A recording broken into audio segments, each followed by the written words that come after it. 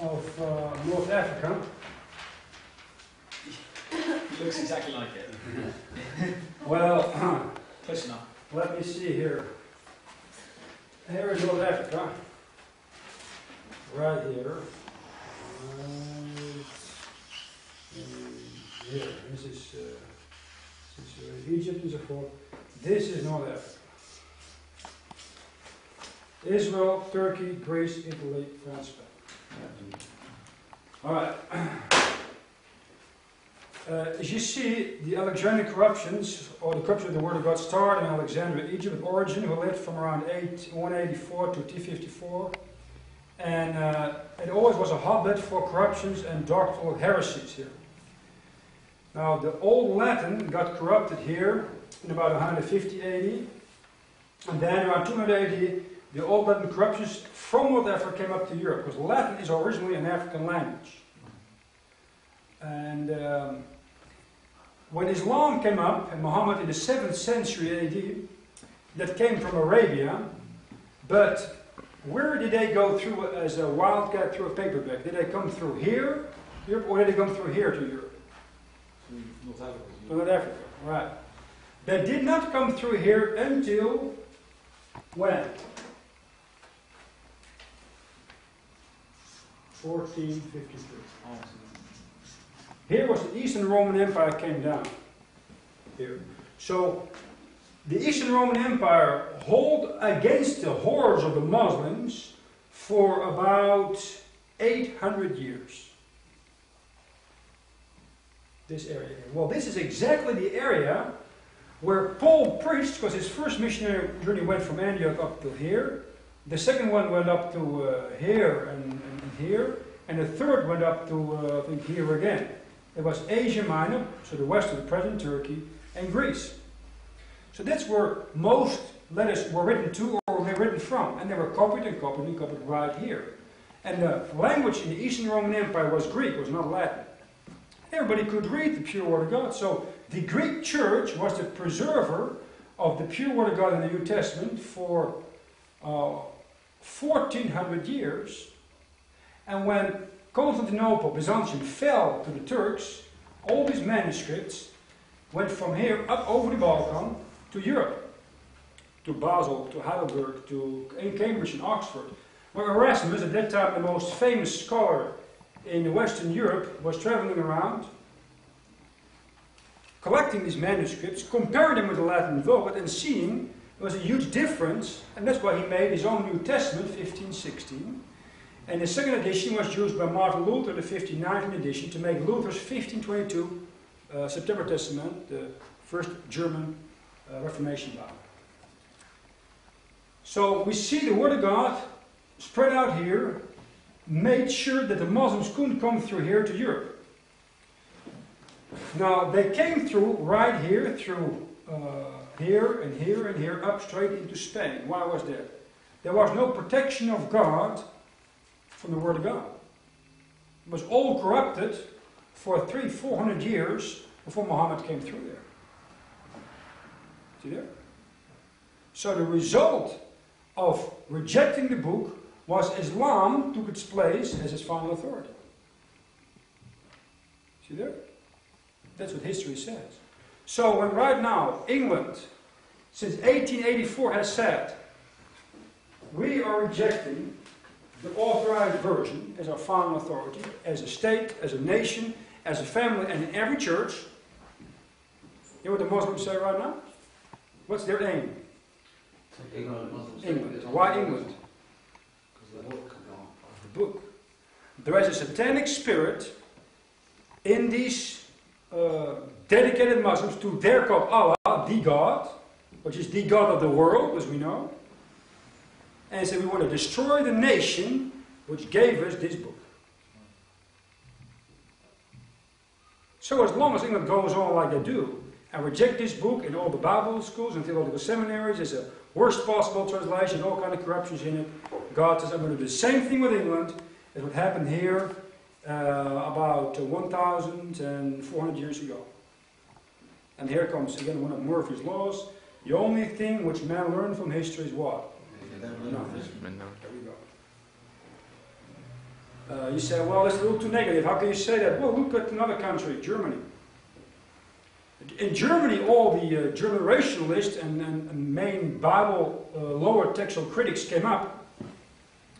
Thailand from Gebhardt, uh, Griesbach, uh, Stier, uh, Nestle, Erwin Nestle, Goedalland. And they, they, took, they, they torn up the uh, Old Luther Bible before 1850 completely to pieces in all the theological seminaries. So God, you know what I'm going to do? I'm going to bless Germany with three wars. 1870 war, they won that one. 1914, 1945. The second 30 year war, after the second 30 year war, Germany was in rooms, split in half, and they lost a few million men, and they've never been independent since 1945. They're under the European Union, back under Rome's authority, ruled through Brussels and Strasbourg. Because of what? One book taken out.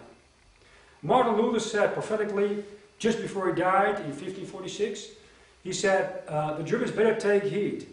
The Jews had the pure word of God, they didn't take heed to it, they were kicked out to Babylon and Assyria. The Greeks had the pure word of God for more than 1,400 years. Didn't believe it, practice it, evangelize it, uh, mission minded. The Turks are in there right now. Now the Germans have. And when the Germans don't take it to what God has given them, they've been in the same way will be destroyed as the Jews, as the Greeks, and, he, and it was right. He said another thing. The German people are now a blessed nation because they have the Word of God in their own language. When that book is taken away, Germany can be the greatest scourge to the earth.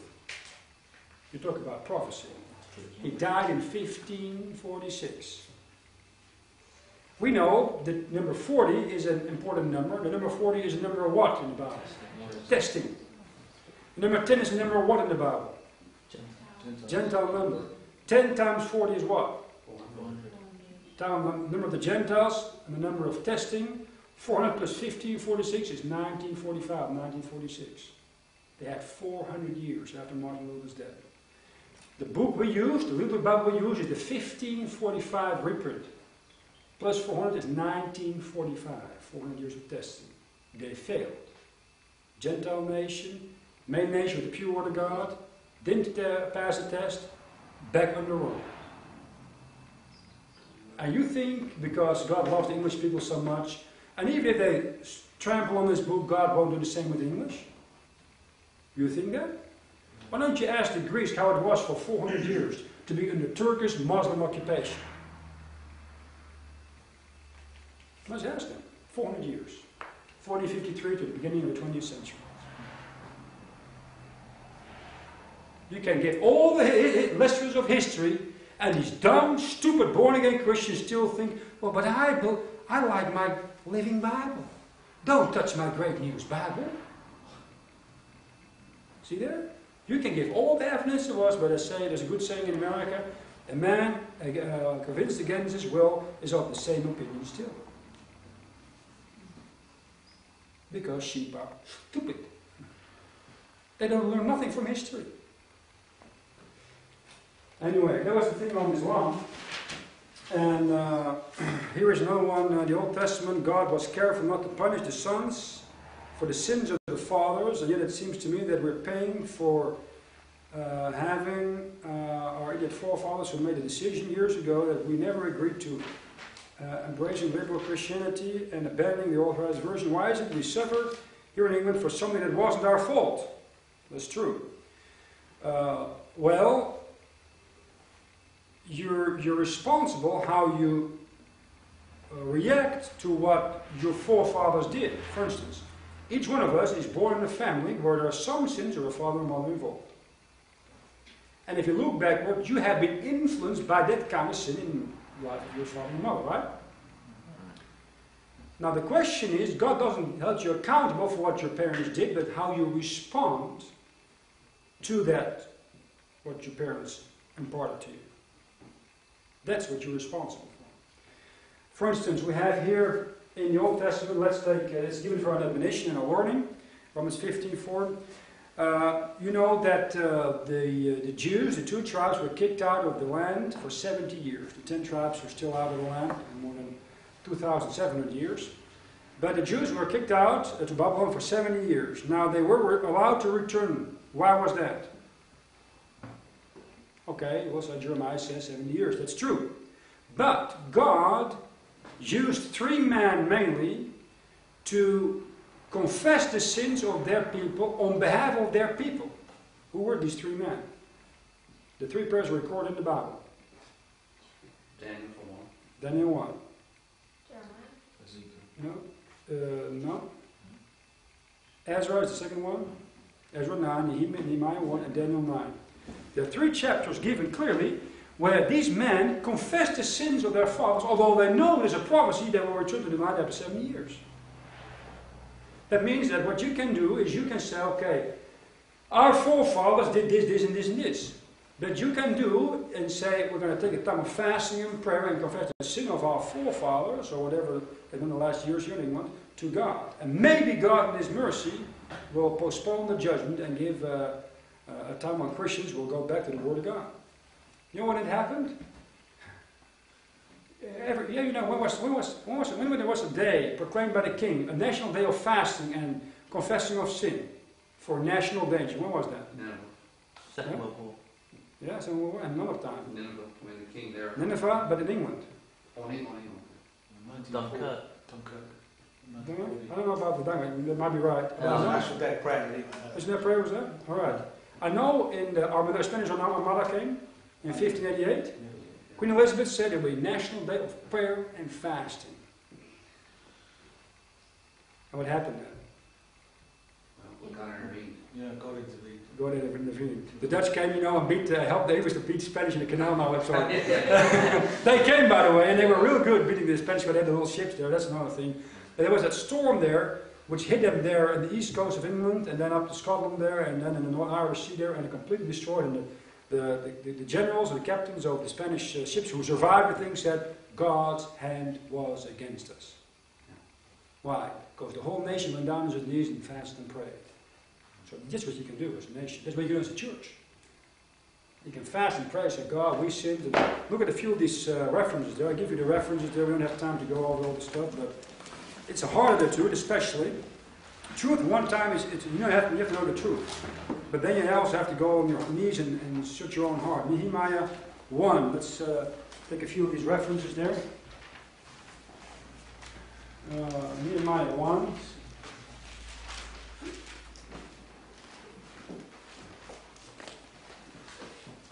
Nehemiah is here in, uh, in the Persian king, and uh, he hears that uh, people have come and uh, tells them in verse 3 of chapter 1 of the situation of Jerusalem.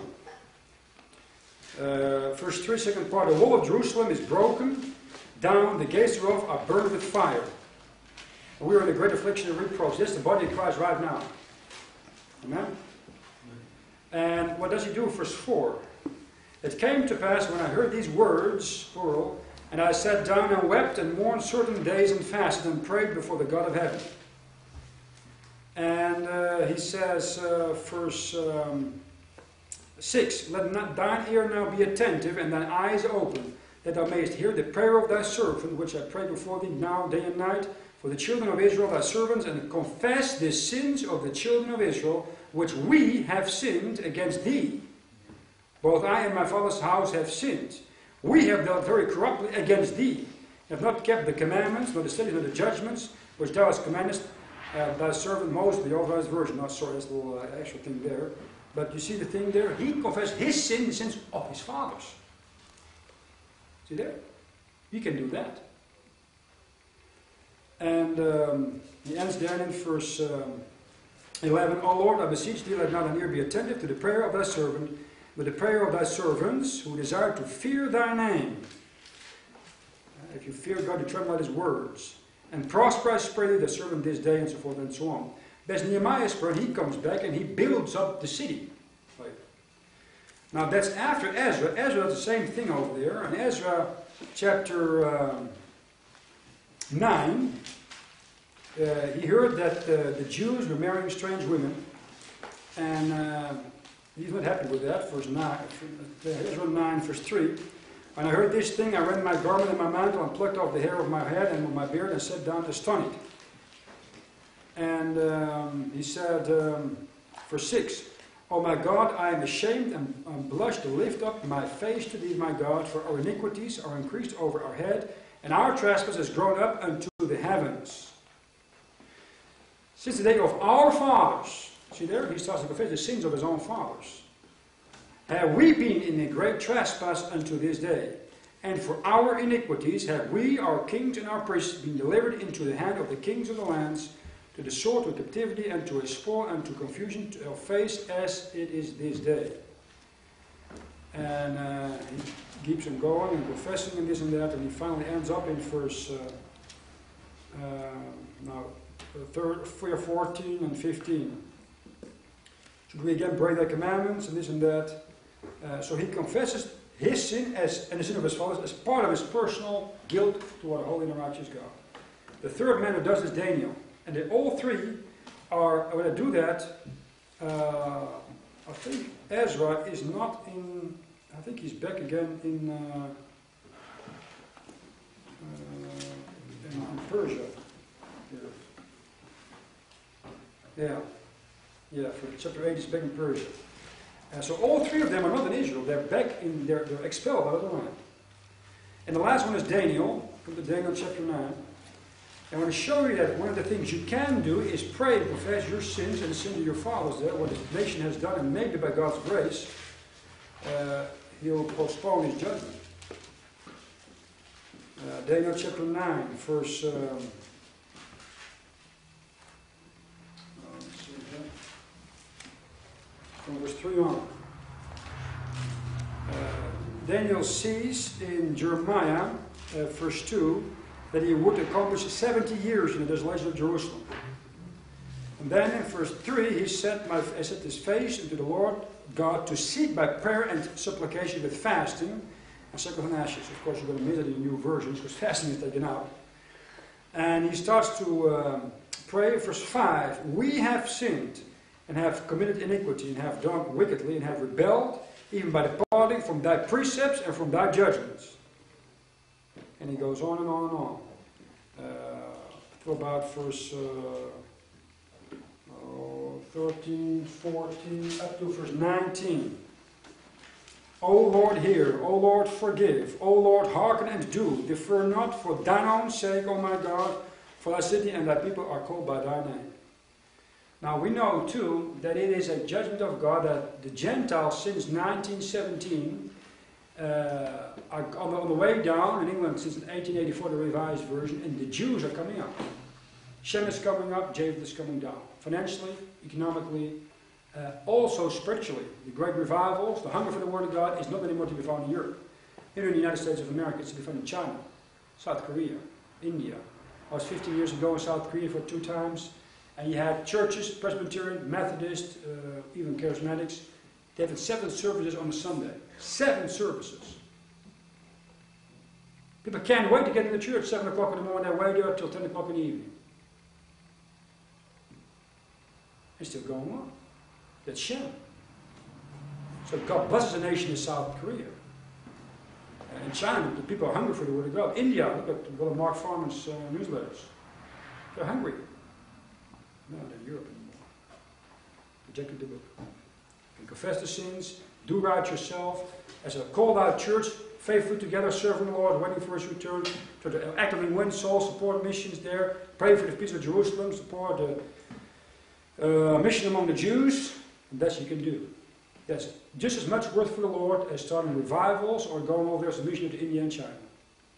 Faithfulness is required. And uh, we have to uh, see that we're not always, um, there's the question exactly here. Why is it that we suffer here in England for something that wasn't our fault? Well, you know, that's are the results of, of sin in general in a nation. Look at these guys from Pakistan who came here two days ago. We are going over there. That nation is cursed. That nation is completely blinded by Satan. There's no truth to be found at all. And these Christians are suffering under that. Why is it? Well, we're all suffering in this wicked world under a devil who's going to take over in the near future there. And the Christians in this world don't want the truth anymore. They want Jesus Christ. They don't want the King James Bible. They just want and love wickedness and darkness. And we have to suffer under it as well. But by God's grace, be faithful, stick together, confess the sins also of your nation, of your own soul, of your own church there, by the grace of God. You can have a revival, a, a, a healthy relationship with the Lord Jesus Christ till He comes back. Like Daniel had alone in Persia, that uh, Ezra had, that Nehemiah had. There's always a small remnant. And That's the only thing you can do. All right, let's go back to uh, some church history here. Nico, Yeah. Thank you. Those are revivals in the, in the east, is that, um, you say those were sparked by a Japheth missionary that's out there? Yeah, almost always start with Japheth, and then it's taken over by nationals because that's more and more effective. To be trained well doctrinally because most of the time they're enthusiastic, and when the doctrine in the Bible is not right, they go off in, in due time and it just becomes one big mess. I got the charismatics are very strong in Korea, in China, and also in India. And the main reason is that Japheth doesn't is in control or is not trained well himself. But I'd say that Startman, the ones Yeah. who are trained properly, Yeah. they're good ones, and the ones that aren't trained properly, they're. Yeah, the thing is always training. The thing is always training. It either it doesn't matter who trains them. Uh, it's, it, in the sports and economics and business life, it's all about training. You need to be trained well. And the tougher the training is in the local church, the better you are when you get out of your local church. Just, From the three passages there from Daniel and the the two places, I mean, if we as a church would uh, take one day a month and say this, they were on a fast, uh, and we're doing right, yeah, and we believe the right book, no, and we're trying to live right and do right, right, and live clean, and make sure our lives are in the right place. I mean, uh, anything to say there would be a local revival within us in our area that Yeah. might spread as much as Absolutely. everybody would take heed to the book. I believe that it. We're talking about. I believe it absolutely. Uh, I, I know there will never be a national revival there with all the internet and TV junk that's put out in your ears 24 hours a day. But a revival, a local revival, absolutely possible there. And I, I still believe, like in Switzerland, here in England, you can build a normal, healthy, Bible-believing work of uh, 50 to 100 people there when the people go down, fast and pray. The trouble is not the lack of biblical preaching, teaching the James Bible. It's not the problem. The problem is the heart of people there. When heart of people gets right with God, God can start to move. And it may take uh, a couple of years. But fasting and praying is the main thing. I've seen it in our church in St. Gallen there. And uh, it starts with the pastor, of course, starts with me there. I think what I did for, for, for a long time, fast one or two days a week. Just uh, as, uh, everybody gets used to it. Good too, you know, you don't pick up too much fat anyway. Uh, food is too good over in England even. And then uh, some of the guys say, hey, this is a good idea. We want to fast, say, uh, Wednesday, Wednesday we want to fast. I asked my wife, many times we had the best times in the church were on Wednesday nights. There was a liberty to preach and teach, and I was always fasting on Wednesday. And other guys were fasting Wednesday too, especially when one of the guys had a baby with a very heavy, severe heart uh, deformation. And uh, we, were, we had a reason to fast, and uh, some of them are still fasting. But for a long time, the Wednesday nights were great times, great prayer meetings, great liberty. I was teaching I was preaching there, and people were talking up to uh, 9.30, 10 o'clock or so. Great time of fellowship. Was through fasting, prayer. So I can encourage you that. So with the pastor, and then with the man of the church, say, oh no, fasting. You have to figure it out. You know, if you just do one day a, a month or one day a week fasting, you find out how much you're addicted to food. It's just incredible. Just skip two meals or three meals, one day a week or one day a month. You think, you, you think about food all the time, and you think you're such a poor man, you know, and you're going to appreciate the Muslims. they're really who fast from sun uh, up to sun down a whole month, a year. Amen. Why don't you try it out for a month? Don't eat anything, you know, from sun up, sun down. I guarantee you, there you you find how stuck you are, how uh, addicted you are to food. Because you think about food all the time, and plus you have to deportion your whole body, because you junk all the time, and that when you drink water, that the portion has to get out of your body. Anyway, We could uh, fast in the wintertime here if the sun never comes up, so Yeah. we just fa- fast while the sun's shining and we're the pastor. That's what they there, guys. That's why the Muslims never go really f- that far north. Hey, that's what I said. Warm in Alaska. Okay, now, say we do this, the Lord starts blessing, and by the grace of God, we'll try to talk about this as a church and try to do that. And we'll do it by the grace of God. Um, what would stop, that revival's running good and things are going well, what's gonna stop the revival? Once it gets rolling like that? Another Christian always here who uh, feels he doesn't get the attention he deserves or she deserves, she, she needs or he needs. And he's going to mess it up through envy most of the time, like Satan did it. When he couldn't get the attention, Jesus Christ got in eternity, and he became envious and proud of his own beauty and this and that and that. It's always some kind of Christian, mainly and a, a, a, most of the time a young man who's going to mess things up. Most of the time. Or a woman who feels, you know, she needs to be in charge of the whole thing. Little Je- Jezebel. But it's always a Christian. It's never a Muslim or the government. It's always another born again Christian, closely connected with the man who starts the preaching and teaching the revival. Always there. All right. Um, here's some um, some little stuff on the uh, church history there. And sorry again for the poor quality of the uh, material, but I'll try to explain a little bit here. Here we have, uh, we talked about Bible believing Christian Christians, and here is uh, Greece, Turkey, Italy, Spain here, uh, Holland, England, Denmark.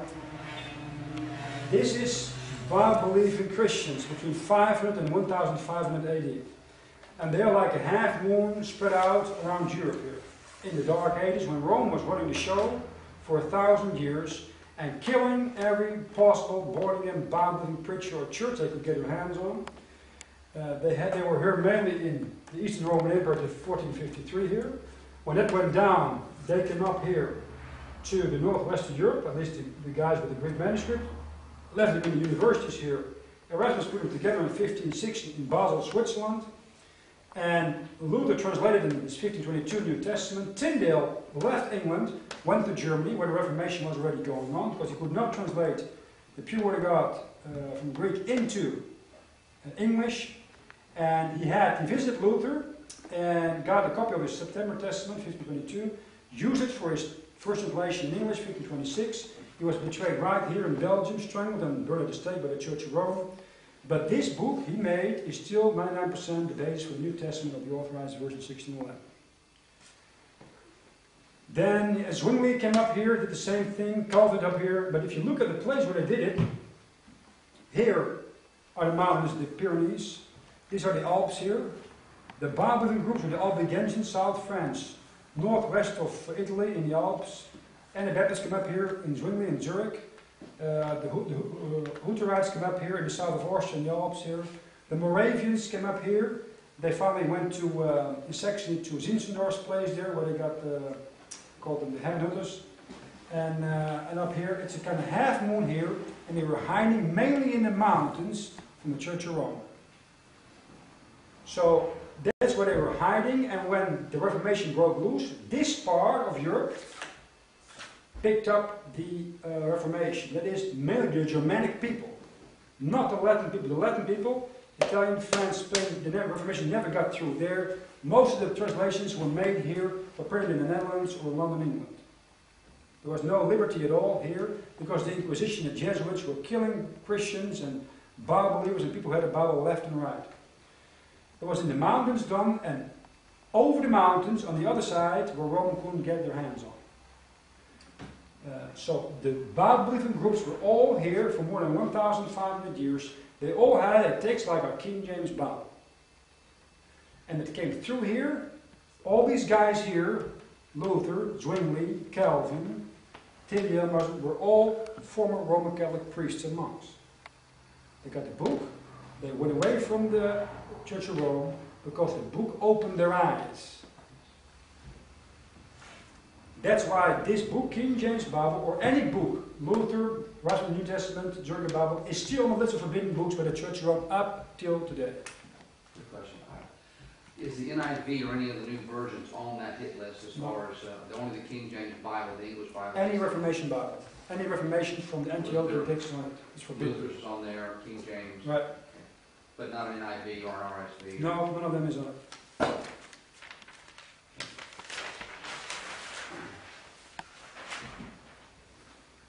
Here is a um, another thing. This is a real mess, of course, but uh, yeah, I'll explain it in a minute. This is um, the uh, the text of Antioch. As you know, the the church uh, of God started there in Acts chapter two, you could say, But the disciples of Christ were only first called Christians when they came to Antioch, Acts 11 26 here. And it was the place where Paul always started missionary journeys. He started uh, three of them. And he always came back right here in Antioch. And that's the capital of Syria. That's a Shemitic country there. And their business was copying the pure words of God and uh, training missionaries and evangelists and translators.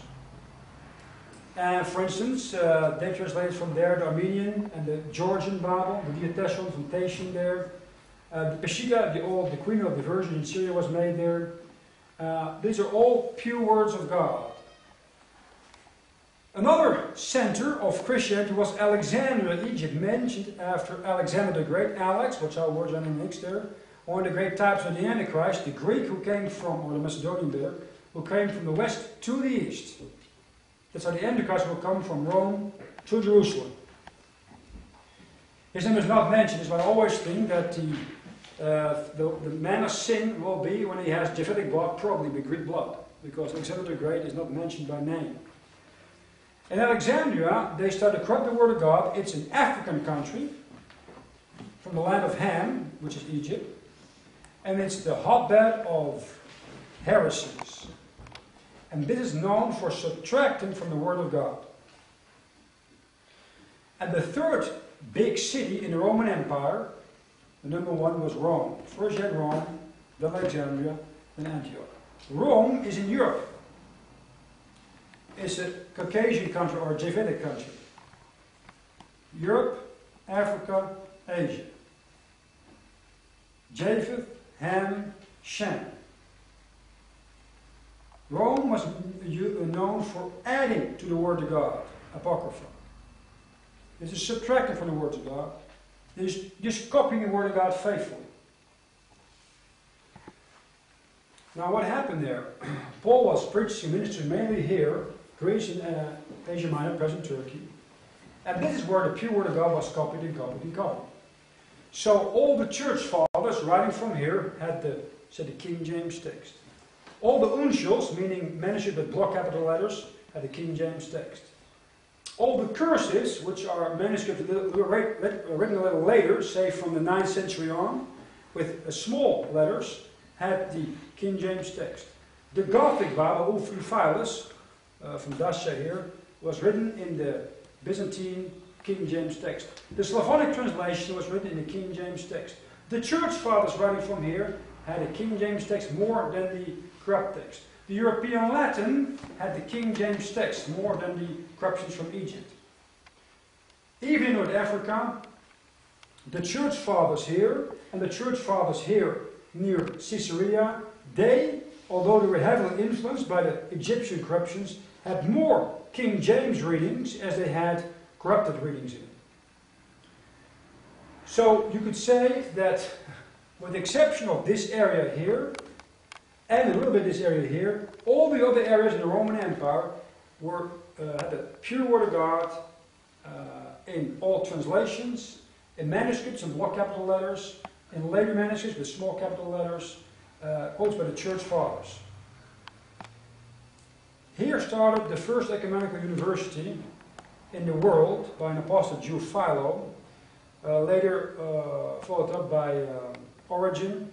He was such a heretic, this Origen, he had to flee, was kicked out, excommunicated by the bishop from Alexandria. He went to Caesarea with this uh, bunch of copyists, and that's where he died. Left his library to Eusebius, and Eusebius was the one, bishop of Caesarea, was called upon by Constantine, the first emperor, also became head of the state, to make uh, 50 state Bibles. So the Vatican, manuscript with Apocrypha, between 330 and 350, went from Caesarea uh, to Rome.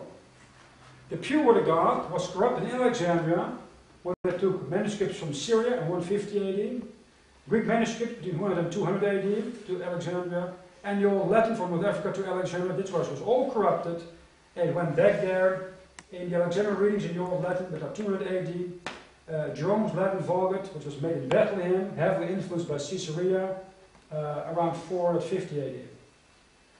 So the trouble was really Alexandria, and from there on, Caesarea.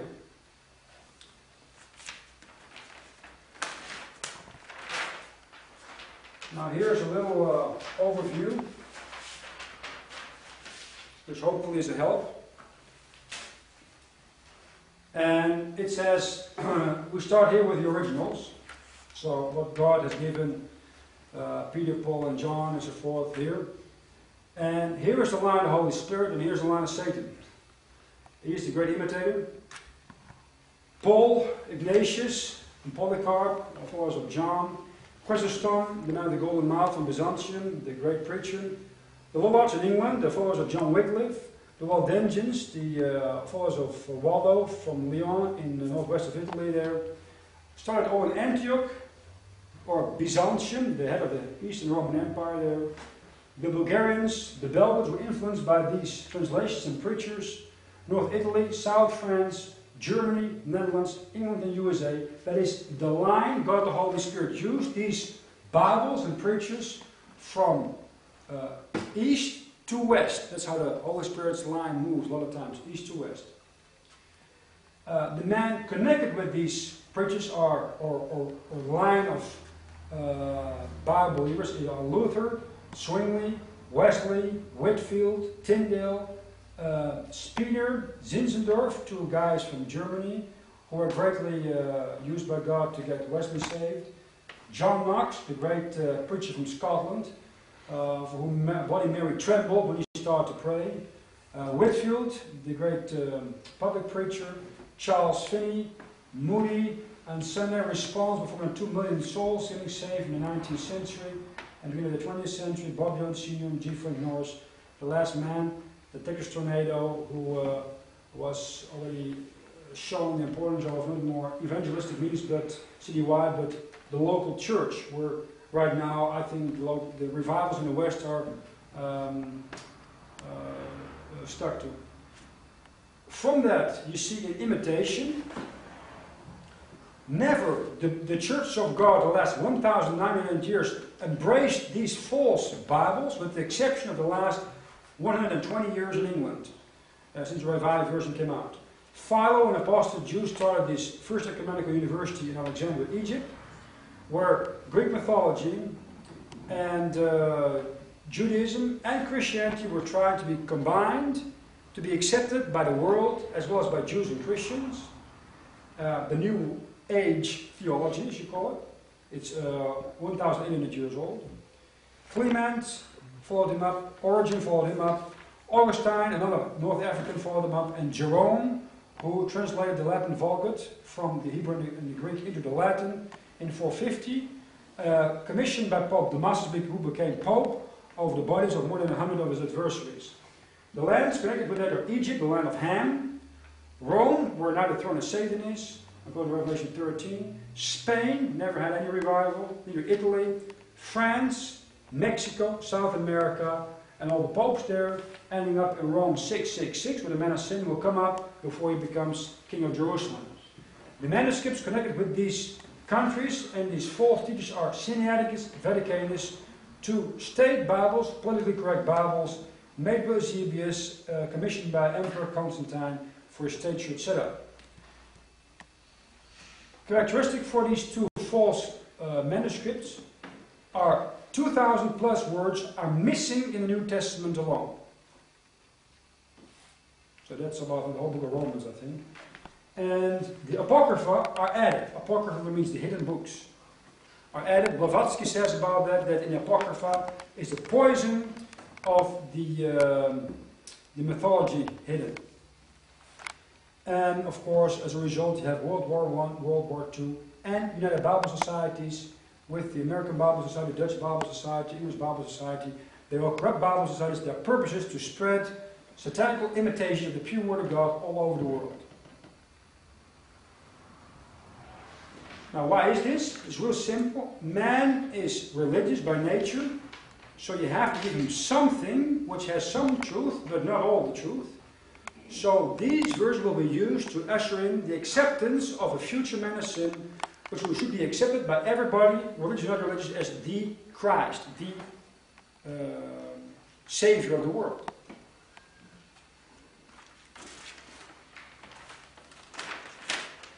Now, a lot of times you hear people say, well, a translation can never be inspired, or we have to go back to the original languages. Now, the question is, how, how do you respond to that? There's real practical stuff which you can use, and the best would be to make a note in your Bible. How do you respond to that? Well, for instance, we have a few examples. Uh, here we have a timeline, uh, 4,000 years before Christ, 2,090 years after Christ. Uh, the Bible was written about 1500 before Christ till 19 after Christ, in a period of about 1600 years. The conversation between Moses and Pharaoh, recorded in Exodus 5, 6, 7, 8, 9, 10, and 11, was in Egyptian. It was not in Hebrew at all. The Pharaoh could not speak Hebrew. So it was written down in Egyptian, but the translation written down is in Hebrew. So it's a translation from an original language to the Hebrew, but the Hebrew is still inspired, amen?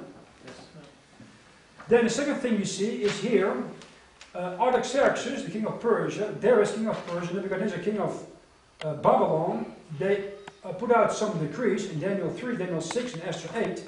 And these decrees are in different languages, and certainly not in uh, Aramaic or in Hebrew. They're probably Farsi, Persian. But they're given in Hebrew and Aramaic. So, again, that translation can certainly be inspired according to God's uh, own writing. Then you have here in Luke 23 38 that Pontius Pilate writes on a table on the, above the head of Jesus Christ on the cross, This is Jesus of Nazareth, the King of the Jews. It's in three languages the language of Ham, Shem, and Japheth. Ham, Latin, Japheth, Greek, Hebrew, Shem. They're all inspired, but they're in three different languages. That's another thing which you uh, think, think about. You have a Luther Bible in German, a King James in English, a Olivetan in French, and Valera in Spanish, um, a State Bible in Dutch. They're all God's words in these different languages. You don't have to change them. Now, the authorized version is the absolute truth in the international languages before the rapture. That's the standard. Why? There's only one standard. You say, well, it's the same with temperature. Absolute temperature, location, and time is in England, as far as I know. I know the French don't like that, neither the Germans, but it's just a fact. Even even the Germans and the French, even the French accept that. Absolute time, location, and temperature is English. It's absolute truth in the international language of the world is in English. That doesn't mean that the other languages cannot have God's words in their language. See, it doesn't contradict each other like the people try to make you think. Here we have Acts 2, 6 and 11. We have a bunch of uh, apostles who preach the Word of God. And uh, look what it says there. Uh, Acts chapter 2, verse uh, 6 and 11. And make a note because I'm going to get you on that. Now, when this was noised abroad, the multitudes came together and were confounded because that every man heard them speak in his own language. Verse 11 Cretes and Arabians, we do hear them speak in our tongues the wonderful works of God. All these guys who spoke, the 12 apostles, spoke in different languages to be understood, and all these sermons were inspired by God. See there? God is not restricting himself to one language. Finally, here around between around 50 and 70 AD AD, you have a bunch of quotes, in especially the book of, Matthew, but also other epistles, in Greek from the Old Testament as a fulfillment, and they're a direct quote from the Hebrew translated into Greek. There are more than 40 verses in the original Greek, which are translations from the original Hebrew and still inspired.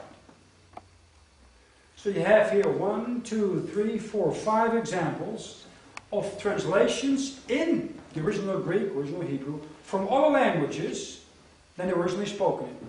And they're still inspired. So God is not restricting himself to one language to be inspirational.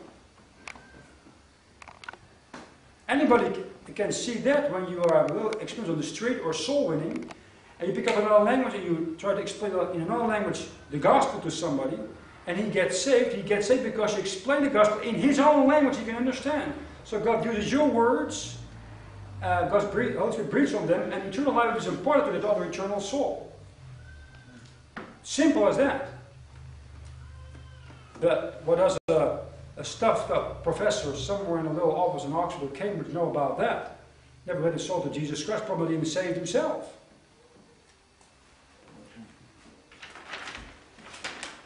Now, I want to say a little bit, uh, not too much, about the corrupt Old Testament. I want to say two things of it, but let's start with the corruptions here. I hope to give you a little bit later a list of a couple of verses which are in the authorized version, and they're not in any Hebrew Old Testament, not even in the so-called Ben Chayyim Masoretic text, which proves that there is not one standard Hebrew Old Testament or you can say this is underlying the direct text of the King James Bible. I'll give you the verses later. I want to speak now about the corrupt Old Testament text. Um, you have the Dead Sea Scrolls of the Essene sect, uh, right now overlooked and published by the Pontifical Biblical Institute of Rome, of course, and mixing it with the Hebrew Targum, Syriac version, Samaritan Pentateuch, and Josephus. These are all non-inspired uh, alteration of the pure Word of God, oftentimes used today in the margin of the new versions as authoritative. Then the Vaticanus Old Testament in Greek, they call it or print it as a Septuagint, a Greek translation supposedly made the third century before Christ. Actuality, this, this thing is fabricated the fourth century after Christ. Um, they have other men here who made also a Greek translation from the Hebrew Old Testament called Aquila, Symmachus Theodotion, uh, Jerome's Juxta Hebraica, Latin Vulgate, he translated Hebrew in Latin Vulgate there. Uh, we see here that the Hebrew vowels change between the 4th and the 10th century, and there are textual and marginal variants. It's very important because the present Ben Chayyim Masoretic text, published by the Trinitarian Bible Society, has is textual marginal variants, and the authorized version uh, man translators use these to get their text together. In other words, there is not one book on the face of this earth in Hebrew which has all the Hebrew words underlying the authorized version. I give you a list, uh, hopefully tomorrow or the day after tomorrow, where you can see and check in your own Hebrew uh, Old Testament that are not in every any Hebrew Old Testament available which means the AV 1611 translators use different manuscripts with a Hebrew Old Testament Bible to get their English text together. Did in the Greek New Testament. They had one Greek Testament together and the Old Latin and some other things, and they put together their English text on the basis of that. There is not the Old Testament Hebrew, the Old Testament Greek. you have one book in English, that's your authority. Then around 1800 up to today, you have coming up an anti-Semitism and higher criticism, mainly in Germany. Right now, the new trend is to accuse Martin Luther of Hitler's Holocaust. That's a new trend. Because Hitler spoke against the Jews, and they say, well, you know, that's what Hitler picked up, you know, so Hitler is really, Martin Luther is really indirectly responsible for the Holocaust. Well, if you think like that, you have to think about what God says. Uh, Paul, the apostle of the Gentiles, who was burdened and almost went to death so that the Jews could get saved. You know what he wrote? 1 Thessalonians chapter 2 about the Jews. I mean, I speak here about those who are not saved. 1 Thessalonians chapter 2, verse. Um, oh, what's the reference there? Um, yeah, verse 15 and of verse 14. 1 Thessalonians 2.14 For you also have suffered like things of your own countrymen, even as they have of the Jews, who both killed the Lord Jesus and their own prophets, and have persecuted us, and they, the Jews, please not God, and are contrary to all men, forbidding us to speak to the Gentiles that they might be saved, to put their sins away. That's what Paul says about the Jews. Unsaved Jews. That's not anti-Semitic, that's historical fact.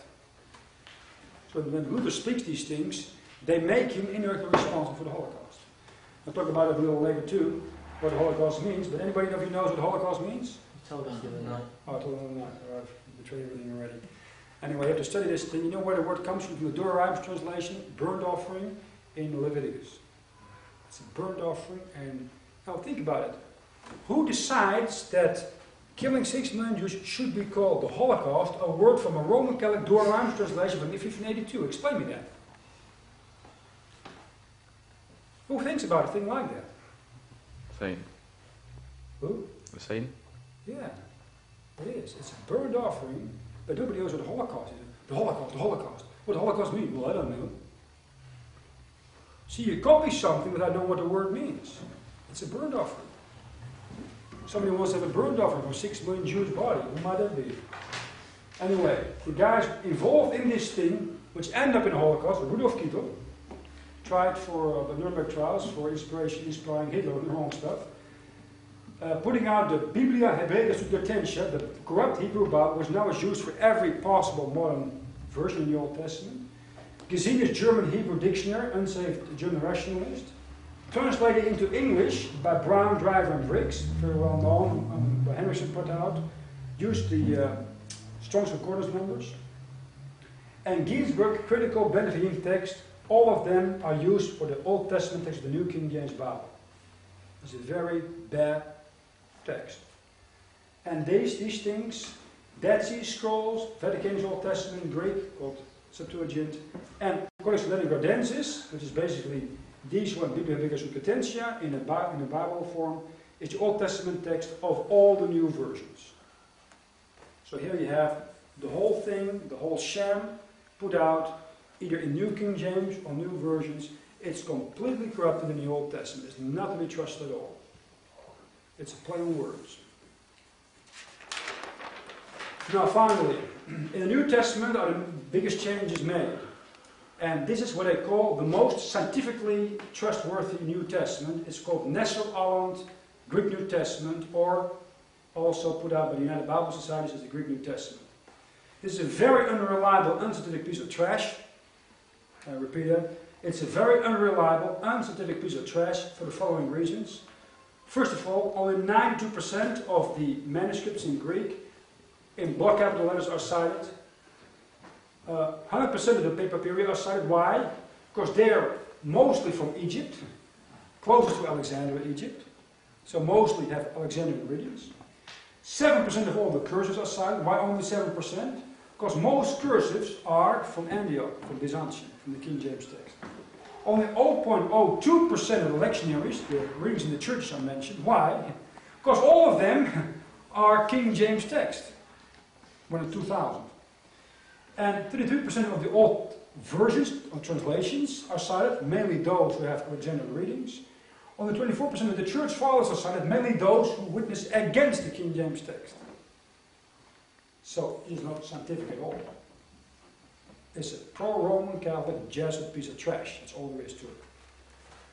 Now here's an example. You have different witnesses to get a Greek New Testament. You have, for instance, papyri, little piece of papyri there, uh, mainly from Egypt, with words or passages of scripture on it. You have 88, in 1997. Of these 88, 13 were from um, uh, Alexandria or Western Horde type. 75 were Receptus type, King James type. That's in percentages 70% against 83%.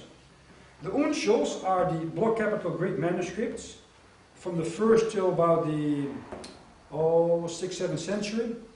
You have 267 of them, and nine of them are from Alexandria, 258 are from Antioch, or 3 versus 97%. The cursives, which are Greek manuscripts in small letters written, from the 8th, 9th century on until the uh, 15th century, there are 2,764 of them. 23 are from Egypt. 2,741 are Antiochian in character. 1 versus 99%. Now you understand why so few were quoted by Nestle Aland. clear? And the lectionaries, which are the readings in the churches, there are 2,143 of them, and all of them are Antiochian in character, 100%. So put them all together, you have here 5,262 manuscripts, 45 are from Alexandria, Alexandrian type. 5,217 are King James Antiochian type, or 99%. Now, the figures for 2008 are now 5,695, and as far as I know, the majority of all the stuff now discovered is in type King James Antiochian type. So 1%, less than 50, builds up the Greek text of this so-called scientifically testament, which is the base for the new versions. See what happens? You've been lied to all the time. And this material is unavailable for any theological student anywhere, Princeton, Yale, Harvard, Cambridge, uh, Oxford, or anywhere in the continent. Now finally, if you say, I want to find out if I have a good Bible or not, how can I find out? Real practical. Here is a simple checklist. And that's, we start with the English text of the King James Bible. And some of these references are not to be found in the Reformation Bibles of other nations. That's why I say the King James is purified seven times. You see certain revelations which you cannot find in the German Luther, the Dutch State Bible, or any other continental Bible. Uh, I'll give you very short what you have to look for. Acts 1.3, the word infallible. There are infallible proofs. The word infallible is missing in the new versions. Infallible proofs about the resurrection of Jesus Christ. Acts 20.28, it speaks about the blood of Jesus Christ is the blood of God. The blood of God. Jesus had blood, it was the blood of God. It's changed no new vows. Acts 4, 27, 30 uh, speaks about Jesus being a holy child of God, changed into holy servant of God. Attack on the deity of Jesus Christ. Acts 2, verse 27 and 31 speaks about Jesus Christ went to hell. His soul went to hell after he died. Changed in all new Bibles in death or in Hades or something else. Then, in a very important reference, which uh, reveals the uh, hearts of the Bible correctors in the book of Romans, chapter 1, especially here in England, you see that coming up. And you probably can say amen on that when you read the verse. Romans 1, verse 18. For the wrath of God is revealed from heaven against all ungodliness and unrighteousness of men who hold the truth in unrighteousness. Uh, the new Bibles change the word hold in suppress in order to cover up their, chin, their sins. But they have the truth, they hold it in their hands, it's in, in, right, in righteousness. You can hold it in your hand. But in unrighteousness, doing wrong. Verse 25 from Romans 1 who changed the truth of God into a lie and worshipped and served the creature more than the creator who is blessed forever. Amen. The word changed is substituted with the word exchange in the new Bibles because the scholars on the revision committees didn't want the wretched sin being exposed. What is their sin? 2 Corinthians 2, uh, verse 17. Already in the days of Paul were there as many which corrupt the word of God. The new versions change the word corrupt to peddling or handling deceitfully or something else. James 5:16. We see there we're supposed to confess our faults, not our sins to one another. Any Catholic has sins, hamartias, instead of faults. 2 Timothy 3, verse 3, again, these are typical, specifically King James readings, which you can hardly find in any other Bible, including other Reformation Bibles. 2 Timothy 3, verse 3, without natural affection, truce breakers, false accusers, incontinental, fierce, despisers of those that are good. That's something missing. Despise of those that are good in all the new Bibles. Uh, despise of, of, of the good, says a lot of people. But it says despise of those that are good. Who are good? Those who love Jesus Christ and His words. 2 Timothy 2.15, study to show thyself approved. The word study is missing in all the new Bibles. I haven't found, I found one in French, Martin 1855, has the word étudier. That's an ex extraordinary thing.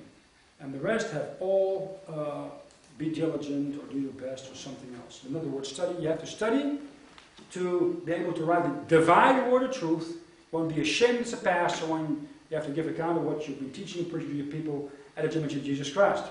1 Timothy 6, verse 5, that verse is missing in a lot of Bibles because it is mentioned only twice in the New Testament and it is taken out once. Uh, in this case, 1 Timothy 6, verse 5, the last uh, four words from such withdraw thyself. You have to withdraw yourself from whom? Verse 5, the beginning, perverse disputings of men of corrupt minds and destitute of the truth. What is the truth?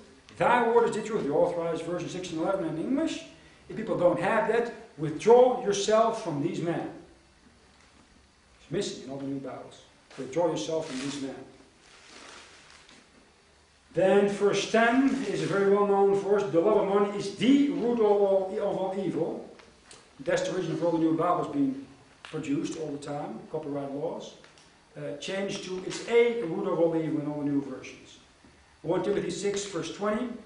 Uh, a unique uh, rendering in the authorized version. It says, and warrants for signs falsely so called. The word signs is changed to knowledge and that way cutting out the reference to the institution of higher learning uh, in England, in Oxford, in Cambridge, Edinburgh, where the Word of God is attacked in the English King James Bible uh, in the name of science. You have to check if anything is scientific with one final authority. This is this book. Well, then a few more verses, which you can, it's not specifically for the King James, but it's a good one to check in any uh, other uh, version. Colossians 1.14, uh, it gives a lie in all the new versions. It says there we have the redemption through his blood, the forgiveness of sins, even the forgiveness of sins. Word through his blood are omitted there, which makes um, the redemption of the soul equal to the forgiveness of sins, which is a lie. In the Old Testament, a soul could not be redeemed, but a soul could be forgiven. Redemption is through the blood, the blood of God, Acts 20 28, which was not shed until Jesus Christ came as God manifested in the flesh. Acts 8.37 is missing in all the new, new Bibles. That's the condition to getting baptized is believing with all your heart that Jesus Christ is the Son of God. Well, that's what all the apostate uh, Catholics, Orthodox, Protestants say. 1 John 5, 7 and 8, the Trinity is attacked here. And finally 1 Timothy 3.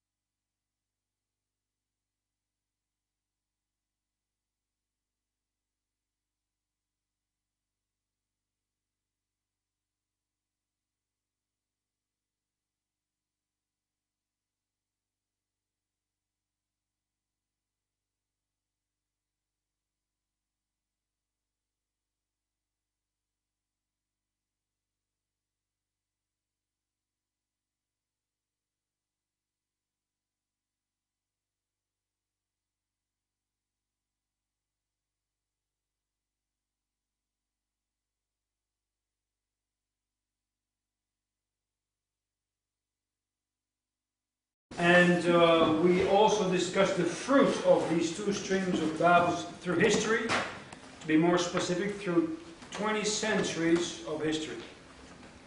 Because the Bible, Jesus Christ himself said, God manifested in the flesh, by uh, their fruits you shall know them. Now here is a small overview, and uh, don't worry about it if you can't read it well, we just take different parts and then uh, look upon it more in detail which shows you the providential preservation of the text of the New Testament in different languages. Now, also we discussed God is not hindered by one language. God can inspire His words or giving them inspiration just as easy in one language as the other language. We discussed two centers of uh, Bible preservation. Uh, what is it called? Bible corruption. Antioch, um, first time in um, Acts 11. Uh, uh, sorry, in, I think in the scripture it's mentioned the first time in Acts chapter 6, if I remember correctly, verse 5. There is one of the six deacons, six deacons is Nicholas uh, from Antioch. And then, uh, like Acts 11, verse 26, the first time the disciples of Jesus Christ are called Christians is in Antioch, a, a Gentile city where Gentile Christians gather together in the name of Jesus Christ. Uh, we also discussed Rome, the third center, the main center in the Roman Empire. Uh, we discussed that Rome is the center where the words are added to the text. The Apocrypha were put there to the uh, Old Testament canon. And it's mentioned in first in Acts chapter 2, verse 10, where people from Rome, Jews from Rome are there, uh, will get saved by the preaching of the apostles. Alexandria is once uh, first mentioned in New Testament Acts chapter 6, verse 9. It's a synagogue of Alexandrians, Jews, and uh, the end of the book of Acts is mentioned again twice in Acts 27, verse 6, and Acts 28, verse 11, where there is a ship from Alexandria which takes Paul to Rome. Now that's spiritualized. Today, how the ships of uh, Alexandria, the false Bibles, carry the body of Christ or the professing Christians back to Rome through the ecumenical charismatic movement. And I have a sermon on that, but I don't have time to do about that. But it's really interesting to study the book of Acts 27 28 and see the principles involved in um, how Paul is taken from an Alexandrian ship back into a prison in Rome. That's exactly where the body of Christ is going to now. So, here we discuss that the center of mission activity in the New Testament is Antioch. That's where they copied the Word of God and translated the Word of God in different languages. And finally ends up here in the King James Version of the Bible here. Alexandria was the first ecumenical university started by an apostle Jew Philo and through different men, uh, Clement of Alexandria there, Origen there, Eusebius there. We discussed the Vatican manuscript there, the Sinaiticus manuscript there, and uh, finally ends up in all the new versions, including the New King James Bible. And the fruit of this line of Bibles is warfare, bloodshed, darkness, and the Dark Ages for more than a thousand years. The fruit of this line of Bibles is um, holy churches, evangelists, the great revivals, the Philadelphia church age, and uh, the Reformation, which made England free from the yoke of Rome about 500 years ago. England going back to this book since around 1884, the revised version coming out, mainly done by Westcott and Hort, has plunged England back under the authority of Rome through the European Union in Brussels. It's just a matter of time till England loses its complete sovereignty again to Rome.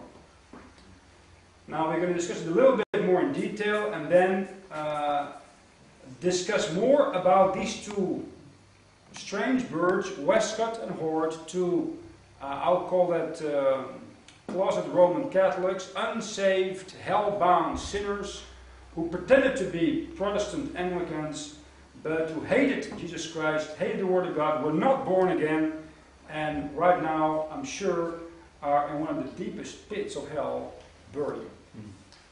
According to their own testimonies, when it comes to the work and person of Jesus Christ.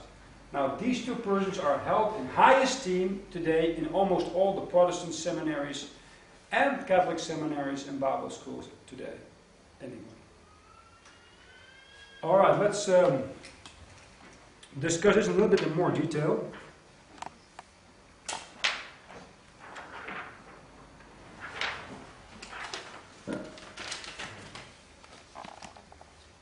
This is the uh, providential preservation of the uh, new text of the New Testament there. Uh, Acts 11:26, and the disciples were called Christians first at Antioch.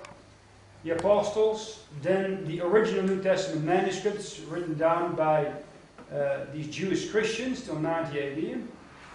Then uh, the translation into Syrian, where Antioch was part of, around 150 AD, the Peshitta, the Queen of Versions. Then the Old Latin and Syriac, about 200 AD.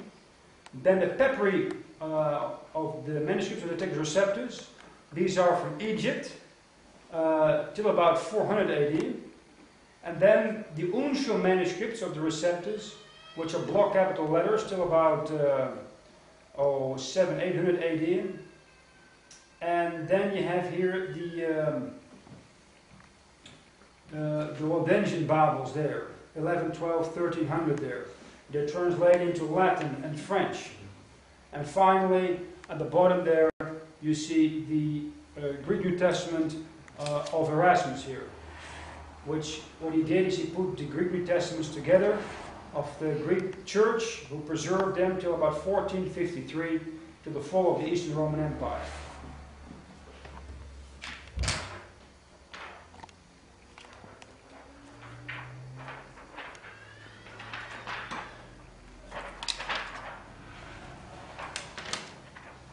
Martin Luther translated that um, Bible from Erasmus, the New Testament, into German between 1522 and 1534.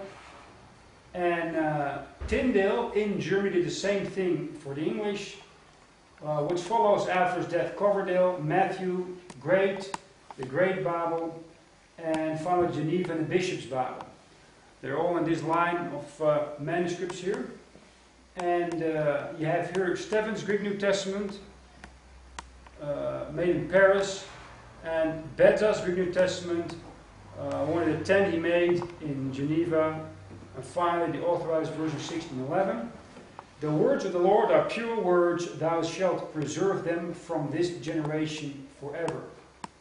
That's a promise of God's preservation of his words up in the English language till 1611 was the beginning of the Philadelphia church age, where the translators paid a high price, most of the time with their own blood or the blood of their family members, to keep and preserve the words of God.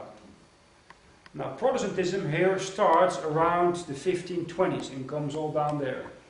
The Anabaptists already were much older and had these pure word of God's uh, way longer. And we discussed that yesterday in different names and different uh, church groups. Uh, they were later uh, called Mennonites, um, the Quakers, uh, Baptists, and finally the English Baptists. Now then we're going to discuss the other side, the Alexandria side, the side where Satan started to corrupt the Word of God. You say, when did it start? Well, according to the King James Bible in 2 Corinthians 2 verse uh, 17, it was already around 50, 55 AD when Paul writes in 2 Corinthians 2.17, we're not as many which corrupt the word of God. So the devil will not waste any time attacking his words. So the corruptions here start with uh, Gnosticism, Arianism, and pagan philosophy. And uh, it is done in Alexandria, the hotbed of uh, heresies. Papyri manuscripts around 200 AD, P75 for instance, have been heavily influenced by the heretical readings and teachings of Alexandria. Clement was a famous teacher at the Alexandrian uh, School. Origen followed him up. Eusebius uh, followed Origen to Caesarea, where Constantine the Great, the emperor who was head of the state as well as head of the church, ordered 50 state Bibles from Eusebius well, we believe that Sinaiticus and Vaticanus are uh, leftovers. And uh, Jerome in 382 translated the Latin Vulgate, meaning he took these uh, manuscripts from Eusebius in Caesarea, uh, in Bethlehem, where he was, translated them in the New Testament in uh, Latin, and he took the Apocrypha and put them between the books of the Old Testament, a part of the Old Testament canon. That's why you see here Constantine here as the emperor who uses Greek corrupt state Bibles and a, and a Latin corrupt Bible in the west of the Roman Empire. as a result, because the West accepted that and it was the main capital, the West get destroyed about 100 years later, 476, by the Huns, or the Goths. Now, the Dark Ages start in the West. The Eastern Roman Empire stays alive for another thousand years, till 1453.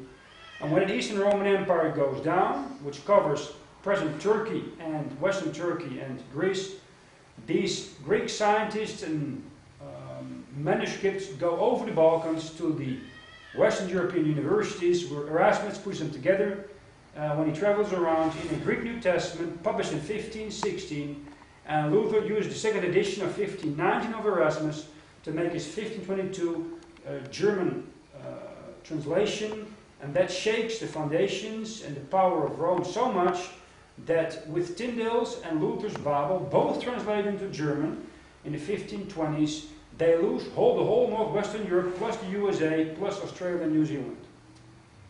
These two books did that work. Now, uh, see a little further the corrupt manuscript Alexandrinus. Alexandrinus, together with uh, Vaticanus and Sinaiticus, are the three manuscripts which also comprise the uh, all, what they call the Septuagint, the Old Testament in Greek, uh, with the Apocrypha in it. That's how corrupt they are. They don't tell you that, but uh, these three manuscripts they say are the oldest and the best, have the Old Testament also in it, and the Apocrypha as part of the Old Testament canon between the books of the Old Testament.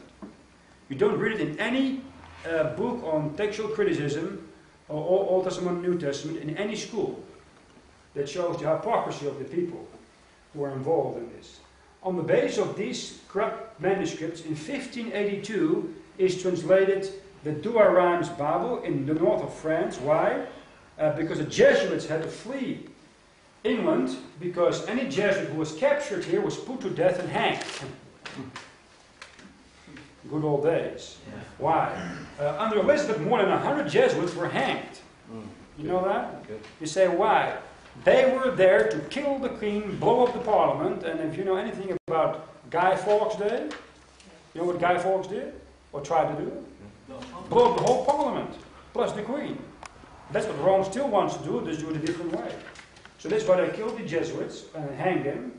And the Jesuits had to flee to the continent, and in Reims, a little town in the north of uh, France, they made this uh, uh, Bible, and of course you see they started translating in English after Tyndale already did it in 1525, 26. So Rome gives this satanic limitation after they know we cannot stop the people from reading the Word of God in the vernacular, the common language. I've been there in, in Reims with uh, Eubanks there. Uh, this guy bombed the Vatican with gospel tracts. And uh, there is a huge plaque in front of the cathedral where it says, around 50, uh, 1960, here were Konrad Adenauer and Charles de Gaulle uh, brought together by Monsignor so and so, a Catholic guy from, the, from Reims, uh, to get the foundation stone of the European Union or the revived new Roman Empire. Right there in uh, Reims, where they made this satanic limitation of the pure word of God in English. All right. Then we're going to go to the bottom of this thing. Well. On that last one, you had um, Wycliffe, 1380. Did he have any influence on, uh, on Luther? I mean, was Luther influenced by any of his writings or the Lollards or, Who was that? uh, in 1380 Wycliffe, New Testament, Oh, yeah. English, did Wycliffe have any influence on Martin Luther? Yes, yeah, that's a good question there. Um, uh, John Wycliffe, uh, I don't know how he picked all this stuff, but I think he had the old Latin. And uh, here you see the connection with the Latin Vulgate. And if you take the Wycliffe New Testament today, indeed it is pretty much after the Latin Vulgate. But I believe it has been corrupted, and the original Wycliffe was not according to the Latin Vulgate, but according to the old Latin. And um, Wycliffe's writings were very strong anti-Rome and anti-Pope. He died in peace, but his body was uh, dug up and then burned, and uh, his ashes uh, thrown away. And Wycliffe's writings were highly influential in the conversion and the ministry of John Hus in Prague. and his successor, Jerome of Prague, both were burned at the stake in Constance, Germany, in the 15th century. And uh, the Hussites, the followers of Prague, uh, later fought real uh, military battles against the armies of Rome, who tried to destroy them and wipe them out completely. Now, Prague and the Hussites in the Czech Republic are relatively close, very close to Saxony. And Luther, as you know, was a Saxon, and uh, he, I believe, was influenced by the uh, Hussites, indirectly by Wycliffe. And mainly, I think too, and I never was able to study that, I think that probably his translation was also influenced by the Tepl Bible, a German translation before Martin Luther, uh, done by the Hussites, who were influenced by Wycliffe.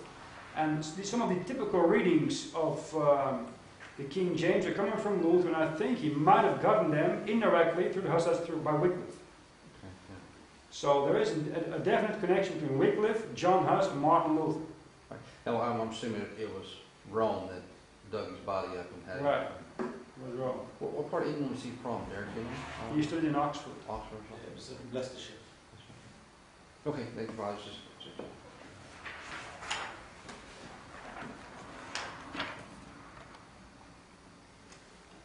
So, continuing here, you see uh, in Germany the Jesuits started to attack the uh, Greek New Testament text by a series of guys. You have Griesbach here, Lachmann, and they're all unsaved German rationalists, uh, great philologists, meaning uh, theologians, uh, people who are great linguists in languages, especially Greek and Latin, and they apply the principles of studying a uh, Latin or Greek uh, ancient text, the same principles to the New Testament text, which you can never do because uh, the New Testament is an inspired book of God. But you can never use uh, the principles, the same principles for a simple secular book to an inspired book. Tregelles was an Englishman and uh, did his work in England. Uh, he was a saved guy from the Open Brethren. Then Tischendorf did a, a- an enormous amount of damage because he was the one who took the second witness, Seneca Sinaiticus, and picked it up from Mount Sinai from a wastebasket in a St. Catherine uh, monastery. Uh, too bad he didn't come a few days later because the monks were ready to burn the whole thing there. And he picked it up from the wastebasket, and uh, that is the second witness beside Vaticanus. And as you know, when you have two witnesses, then the thing is established, the Bible says. So since 1870, uh, the idea of a new Greek New Testament has come up thanks to Tischendorf. Uh, Alford, Westcott, and Hort uh, had their job in England, and especially Westcott and Hort are instrumental in replacing the authorized version from the minds and the hearts of the students and pastors and, mi- and ministers, um, and uh, they take the uh, revised version, which is nothing more than a Alexandrian Roman Catholic Jesuit piece of trash uh, instead of the pure words of God in the authorized version. In Germany, Nestle was the, the, the word there in 1898, and today you have Nestle Aland's Greek New Testament in 2008, more than 110 years later. So you see that these very small amount of about 45 manuscripts form the basis of basically all the new Bibles since around 1880 in English speaking language, more than 230 up till today. While the other side uh, is, uh, so the King James side, uh, is backed up by more than 5,500 manuscripts up till today. there's one forty-five for Alexandrian text. Only 45 Alexandrian uh, yeah, uh, manuscripts with an, uh, a corrupted text.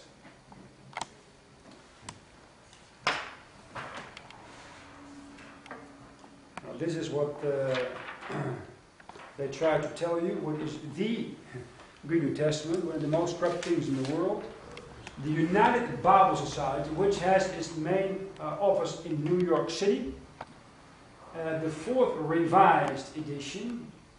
And um, what it is, it is nothing else than a rehash of the fourth, third century corruptions from Egypt, the top of the world, Alexandria, and uh, based upon a 1% minority text less than 45 manuscripts. That's all there is to it. And most of these readings are from the oldest and worst manuscript. Well, they're not even the oldest, neither the best. They're the worst, and they're from um, uh, uh, manuscripts containing the Apocrypha. Now, here is, for instance, in Aland's Greek New Testament, uh, the majority text. So when you see the, the, the M there, right there, that means the in the text apparatus the M means the majority, and they don't they cannot say which uh, manuscripts cover that. But here you see the majority is these. All these manuscripts have the readings of, in general, the King James text. So each one of them is a manuscript, each Each of them is a manuscript. That's they, right. they number them right when they find them. Yeah, they, they give them a number to know exactly which uh, number corresponds to which um, kind of manuscript. Hmm, okay. And uh, this is an example of the guys who put it together. This is the so-called deep Greek New Testament, and it's done in the tradition of Eberhard Nestle, Erwin Nestle, to apostate uh, a lot of Germans, edited by Kurt Aland from Münster, a Roman Catholic area, Matthew Black from St. Andrews, Carlo Martini from the Pontifical Biblical Institute from Rome, Jesuit trained, Bruce Metzger from Princeton, and Alabama from Chicago. And here you see her name, Barbara Aland. And Kurt is dead now, Barbara followed, followed him up. So a woman is in charge now of letting you know which words of God uh, are for you and which are not for you there. Thank you. And this is uh, the Trinitarian Bible publishes also a text called um, the Greek text in the line English Authorized Version. We're going to see in a minute that is not the truth. We're going to maybe discuss it tomorrow and give you a whole lot of other readings. That's the authorized readings in particular places do not have in this New Testament a, um, a specific word or letter underlying the uh, authorized version, which means there is not the Greek text as they claim to be. It's very important to know. It's an eclectic text, meaning that there are different manuscripts used to make the um, uh, authorized version.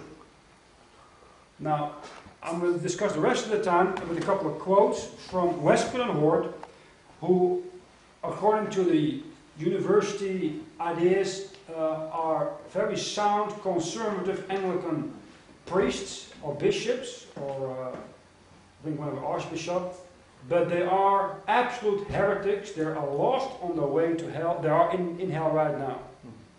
That's very important to know. Now, here are a few quotes they wrote. This is a quote by Hort and B.F. Westcott, Introduction to the Greek New Testament. Quote, Little is gained by speculating as to the precise point at which such corruptions came in. Oh, it is? How about 2 Corinthians 2.17 in the Authorized Version? That's 55 AD. They may be due to the original writer. They say, what they say is, God made a mistake by using John or Paul or Peter, and they already had uh, mistakes in the original words God gave. That's what they say. Or to his amanuensis, because you know Paul many times quotes, and the somebody else, Silas Timothy, writes it down.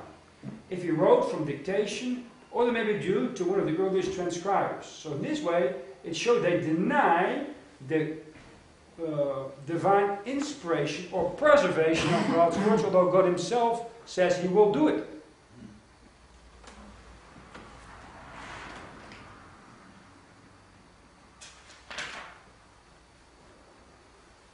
They thought, these two guys, Westcott and Hort, uh, the New Testament was like any other book. They wrote, quote, from Introduction to the Greek New Testament, the principles of criticism explained in the foregoing section hold good for all ancient texts, preserved in a plurality of documents in dealing with the text of the New Testament. No new principle, whatever is needed or legitimate. In other words, you can study a old writing of Caesar the same way as the New Testament. That's wrong. Uh, when you discuss the New Testament, you assume you speak about uh, people who study it are born again, They uh, assume that the book is inspired, has God's breath on it, and God is able to preserve His words. So that's a completely different way of looking at things than and some kind of a writing done by an uh, unsafe person on, on the basis of secular principles. You cannot apply the principles of a, secular work to the, to the principles uh, connected with the New Testament. That's impossible. But for them, the New Testament was just an ordinary book. It was not divinely inspired or divinely preserved at all. So what they do, they take these parts of the New Testament, these 45 manuscripts, which more or less are lost for the body of Christ 1,500 years.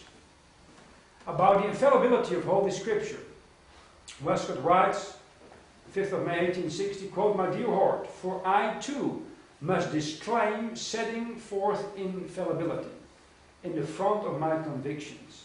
At present I find the presumption in favor of the absolute truth, what should that be?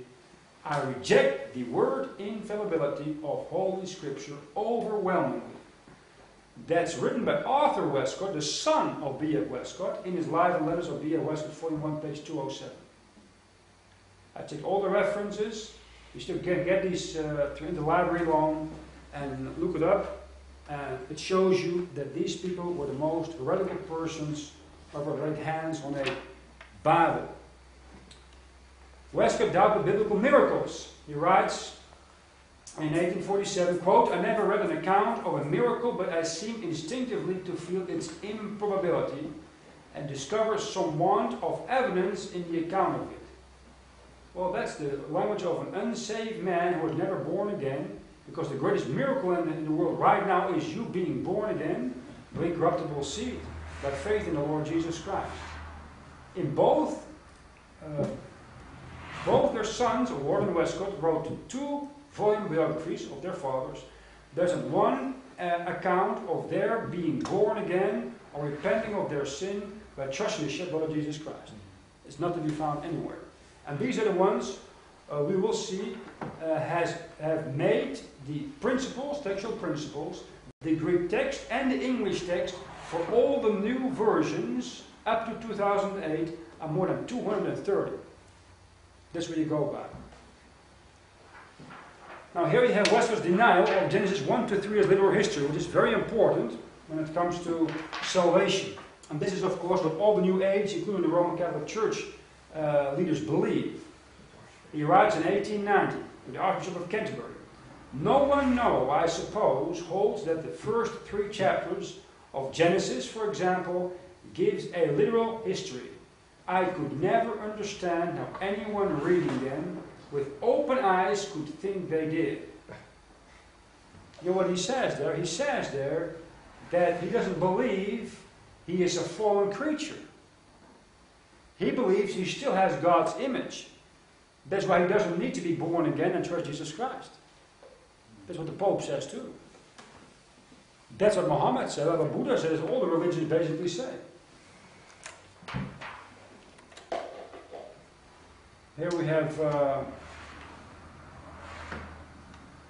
Westcott's denial of the resurrection of the flesh, which is a very important thing, because if you deny that, you take out, like any good Muslim, the heart of the gospel. Uh, here we read from Kirsopp Lake's Immortality and the Modern Mind. Until the middle of the 19th century, 1850, opinion in England maintained the same position as Catholic theologians. They held uncompromisingly to the opinion demanded by the Apostles' Creed and affirmed the resurrection of the flesh. Bishop Westcott is really the author of the great change.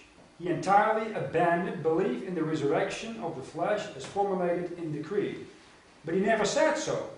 On the contrary, he used all his matchless powers of shading language so that the change from white to black appeared.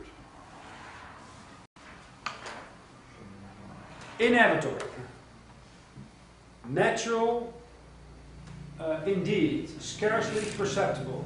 He writes, for instance, in the History of Faith, I believe in the resurrection of the flesh, the flesh of which we speak as destined to a resurrection is not that material substance which we can see and handle, measured by properties of sense. Does he explain that, uh, what it say there?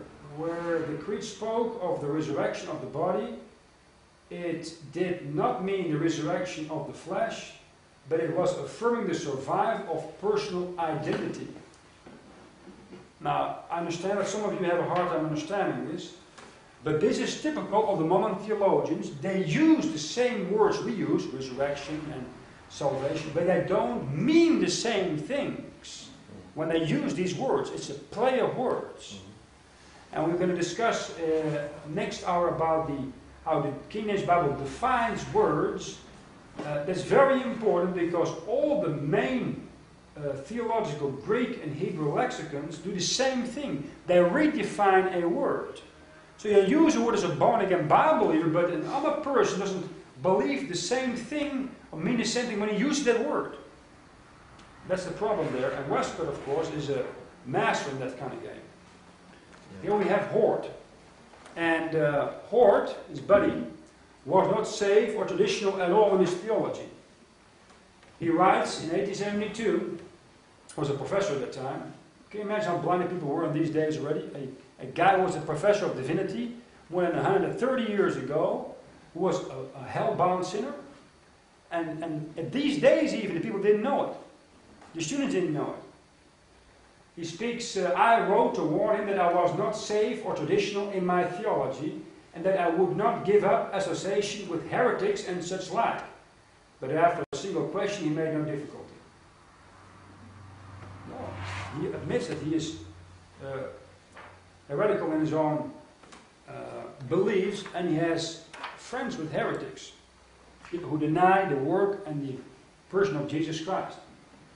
Hort denies absolute infallibility of the New Testament. He writes in 1860, uh, 20 plus years before the New Testament comes out, which he worked on, if you make a decided conviction of the absolute infallibility of the New Testament, practically a sine qua non for a cooperation, I feel I could not join you. In other words, if that's the condition you make to work on the New Testament, I cannot join you. Well, that's what he said before already. He said, well, the original writers already have made mistakes in when they wrote the words down, or the ones, the amanuenses who helped them to write the words down.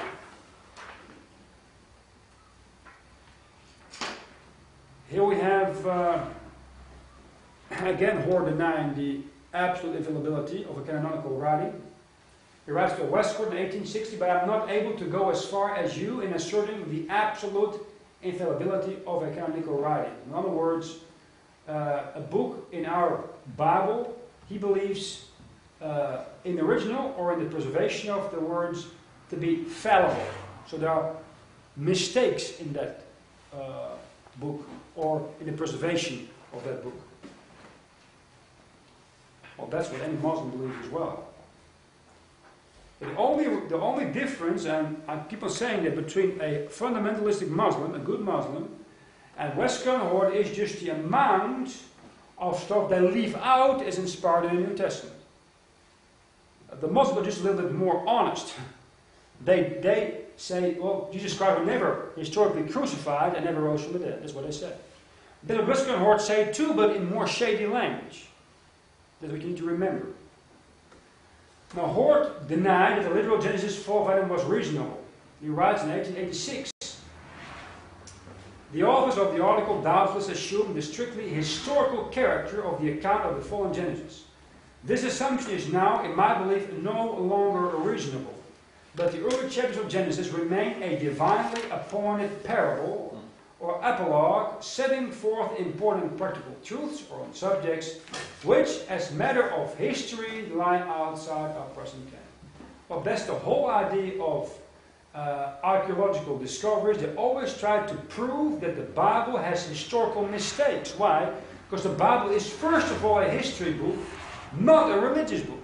It gives history in time and space and matter of God dealing with human beings, and it is not, first of all, religious at all. So that's what Hort denies here. Now, of course, he goes further, and he denies a literal Garden of Eden and literal fall of Adam. He writes in 1848, I am inclined to think that no such state as Eden I mean the popular notion, ever existed and that Adam's fall in no degree differs from the fall of each of his descendants, as Coleridge justly argues. In other words, he says, I don't believe I lost God's image, I still have God's image. That's why I don't need to repent and get born again by faith in a literal, visible, resurrected Jesus Christ. That's what he says. But he doesn't uh, write it down or say it in these words. That's what he said. That's what the Pope says. That's why all the big religious today, religions today can get together because they all deny that we have uh, we have lost God's image. We are completely in sin, and all religions say you do not need to be born again by faith in God manifest in the flesh.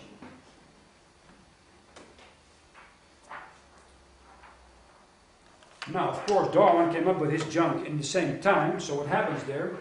That's very important to note. Uh, here we see what Hort held to the truth of Darwin's Origin of the Species. He writes to Westcott in 1860, quote, Have you read Darwin? How I should like to talk with you about it. In spite of difficulties, I'm inclined to think it unanswerable. In any case, it is a treat to read such a book. Why do you, why like that? Because if you come from, if a man comes from, from species or from an amoeba or some kind of animal there, hey, he is not created by God. He has to, have to answer before holding a righteous God. And he is just like a, a, a, a, being, an animal being there. Uh, he is nothing more. And certainly he's not made in God's image. Well, Darwin said the same thing when it comes to the origin of the species as Westcott and Hort did when it comes to preservation of the Word of God. They both say uh, everything gets better and better in time. Well, we know, according to the first and second law of thermodynamics, which we discussed the first night, everything gets worse. It falls to pieces, entropy. Well, that's the same thing you see in the Bible. When God starts something in Eden, man messes it up. God started with Abram, he messes it up. He starts in Israel, they end up in Babylon and Assyria there. God started with the local church, and they are ending up with a Biblioapostasia, a divorced apostle Bible. And Hort assume that the best Bibles come up at the end of the church age. Like Darwin says, we, the, the best people, uh, human, animals come up at the end of the line of uh, uh, evolution, which is nuts. It only degenerates in life, if you have any common sense, when you want to be scientific. So, Hort and Westcott love Darwin because Darwin did the same in evolution as they did in manuscript evidence.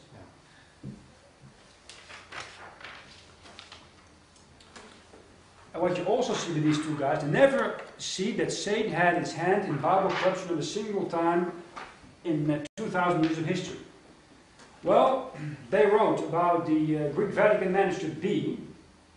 We learn next that B, the manuscript of the Pope, very far exceeds all other documents in neutrality of text, as measured by the above tests, being in fact always or nearly always neutral.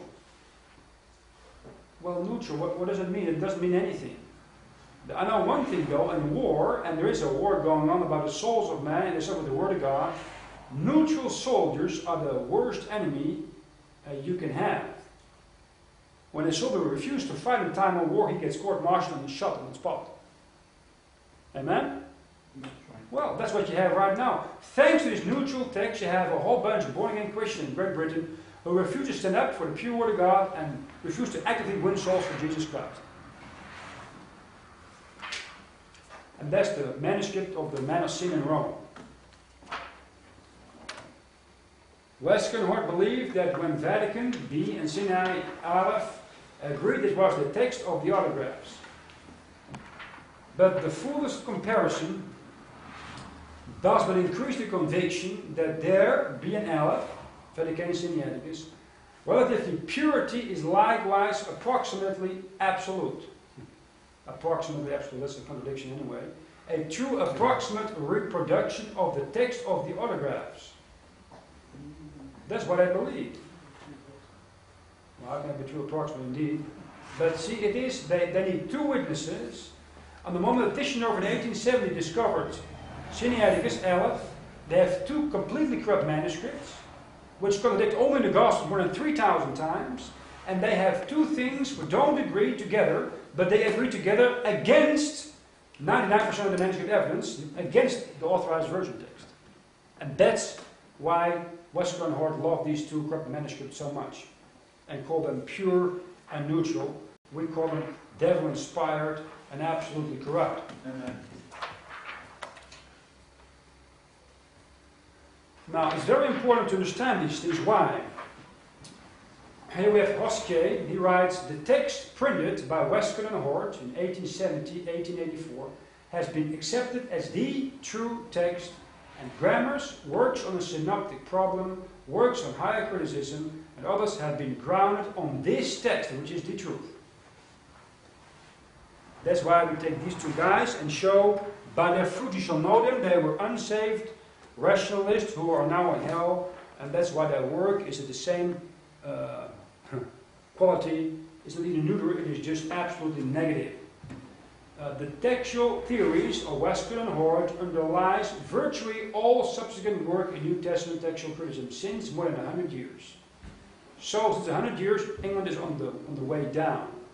Before the British Empire went down after the First World War, morally, inwardly, the thing went down, and it started in London, the same place where uh, the authorized version was made about uh, 300 years before.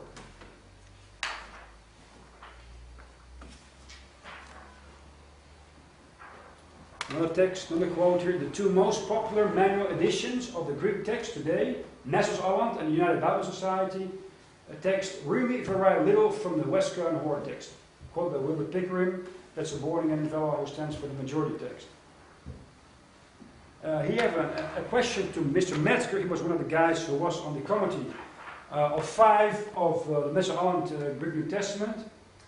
And um, Metzger writes, quote, we took as our base at the beginning the text of Westcott and Hort, 1881, and introduced changes as seen necessary on the basis of manuscript evidence. So this is a very plain quote of a guy who worked actually as a Princeton professor on these uh, Coptic manuscripts, or this New uh, Testament text for all new versions. The two Greek manuscripts followed by anti-text receptist people from the time of Westcott of Hort until now. Following the theories of Westcott and Hort in about 1881 AD, modern day anti-receptist people follow and almost worship chiefly two 4th century manuscripts, the Vaticanus, manuscript B, and the Sinai manuscript Aleph. Putting them together, you have B and Aleph, Baal, Baal worshippers. And we don't have the quotes in that, but both Westcott and Hort uh, lean toward Mariolatry and sacerdotalism, meaning you need a priest to um, get the body of Christ, who changes the bread into the flesh of Christ, and you only need to get to Mary before you can get to Jesus Christ.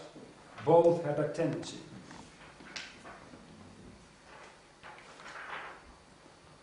Here we have Dean Burgon, the greatest champion of the Greek New Testament text from England.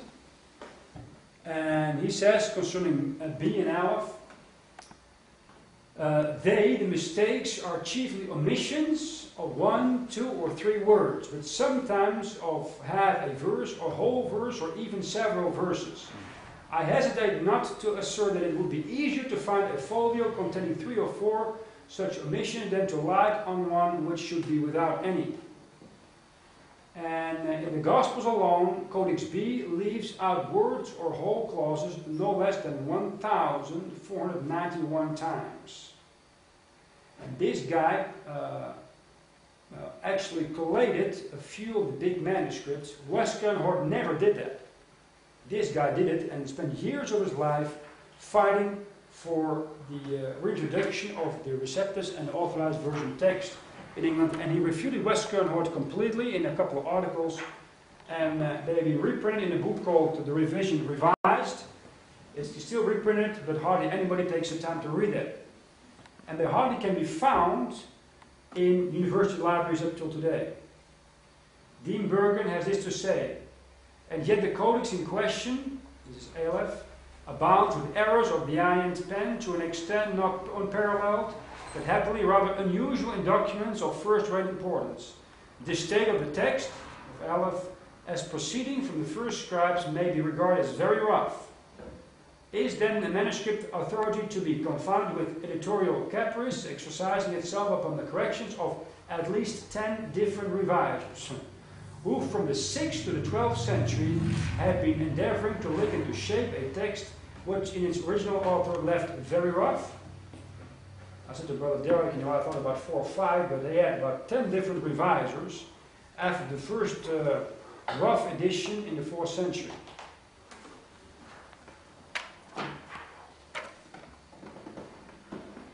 Hoskier writes, it is high time the bubble of Koningsby should be pricked.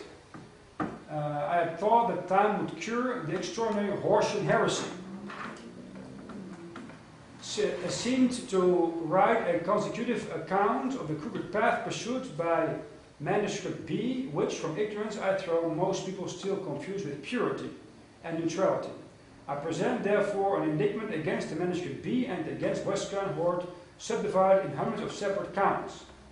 I now throw some bombs into the inner citadel. It is because from that keep there continues uh, till the issue a large amount of ignorance, uh, iteration of Hort's conclusion without one particle of proof that the foundation theory is correct. Over 3,000 real difference between Aleph and uh, B are recorded in the Gospels alone. This guy, letter for letter, collated the Vatican manuscript. And his proofs are to be found in a book called Codex his Allies, and hardly anybody takes the time today to look upon it, it's hardly uh, able to be found. Now, what are the results of this Westcott and Hort corruption of the Greek New Testament text? Here it is. The Receptus has about 140,000 and something words. In 647 pages, about 217 words per page.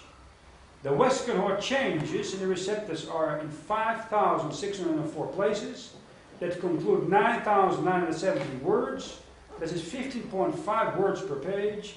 That is 7% of the word, that is 45.9 pages. You say, well, that's only 7% of the words. Well, if you give your baby food which is 7% uh, corrupted or, or bad or poisoned, the little thing dies. And if you look now after 120 years, how the state of the body of Christ is here in Great Britain, it's absolutely shot, it's poisoned. And think about it, it was so bad anyway already 120 years ago that they couldn't even discern the corruption and the stupidity of the arguments of Westcott and Hort. So how do you think it is now? Now, what is 9,970 words in the English Bible? It is about the entire book of Romans, or the entire book of 1 Corinthians. Or you can say six, the book of Colossians, 1 Thessalonians, 2 Thessalonians, 1 Timothy, Philemon, 2 Peter, 2 John, 3 John, and Jude. These words have been changed, subtracted, and added from God's Word in the Western Greek New Testament text. And that's a lot of words. Which means that that counts the same and even more for the new Bibles like the Good News Bible and uh, this and this. Not only that, 2,886 words are missing in modern Greek texts. Jack Moorman, I think he's now a pastor in London, he writes, uh, wrote a book called Missing in Modern Bibles and the Full Story Being Told. And he counted every word in the received Greek text and compared it with the Nestle Aland Greek text. And he said um, the uh, Nestle text is shorter than the received text by 2,886 words. It is 934 words more than were omitted from the Westcott and Hort text. They only omitted 1,952 words. So you see, Westcott and Hort started to change the words uh, around 1884, and Aland did it about 100 years later, and they threw out another almost a thousand words. See there? It only gets worse.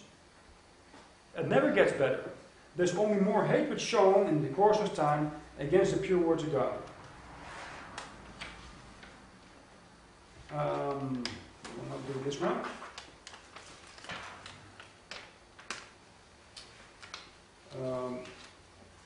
see here. This might be a little help for you guys as a summary. There are here 37 historical links uh, supporting the received texts. The apostolic churches used to receive texts between 33 and 100 AD. Then the church in Palestine, the Syrian church in Antioch, the Peshitta Syriac version 150 AD, Papyrus 66 and Magdalene Papyrus uh, around 60 AD used to receive uh, text. Then you have the Italy Church in northern Italy, 157 AD, used to receive kind of text. Later, the Waldensians settled there in the same area in the northwest of Italy, um, northwest of uh, Torino. Then the Gallic Church of southern France, where the Albigensians lived, 177 AD used that text. The Celtic Church in Great Britain, the Church of Scotland and Ireland, with especially Columba and St. Pat, used that kind of text in uh, the Old Latin and translations from that. The pre-Waldensian churches in the Dark Ages, and we mentioned their names yesterday, used to receive kind of text. The Waldensians, uh, 120 AD plus, especially after 1200 AD, used that kind of text. The Gothic version, made by Ulfilas from the 4th century, used the, kind, uh, the King James text. Codex W of uh, Matthew in the 4th and 5th century used the context. of. Codex A in the Gospels, only the Gospels in the 5th century, that's the right text. And the vast majority of extant New Testament manuscripts all used to receive text. That's 99%, um, or more than 5,000 of these manuscripts. And they all underlie the King James Authorized Version.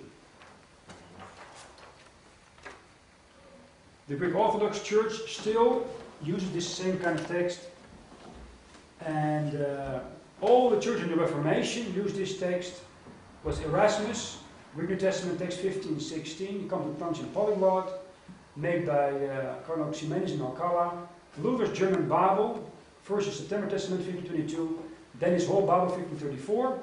William Tyndale's text 1525, French version of Olivetan 1534, Coverdale, Matthew Bible 1537, had all the same kind of text, and for that text, thousands upon thousands of people literally gave their lives.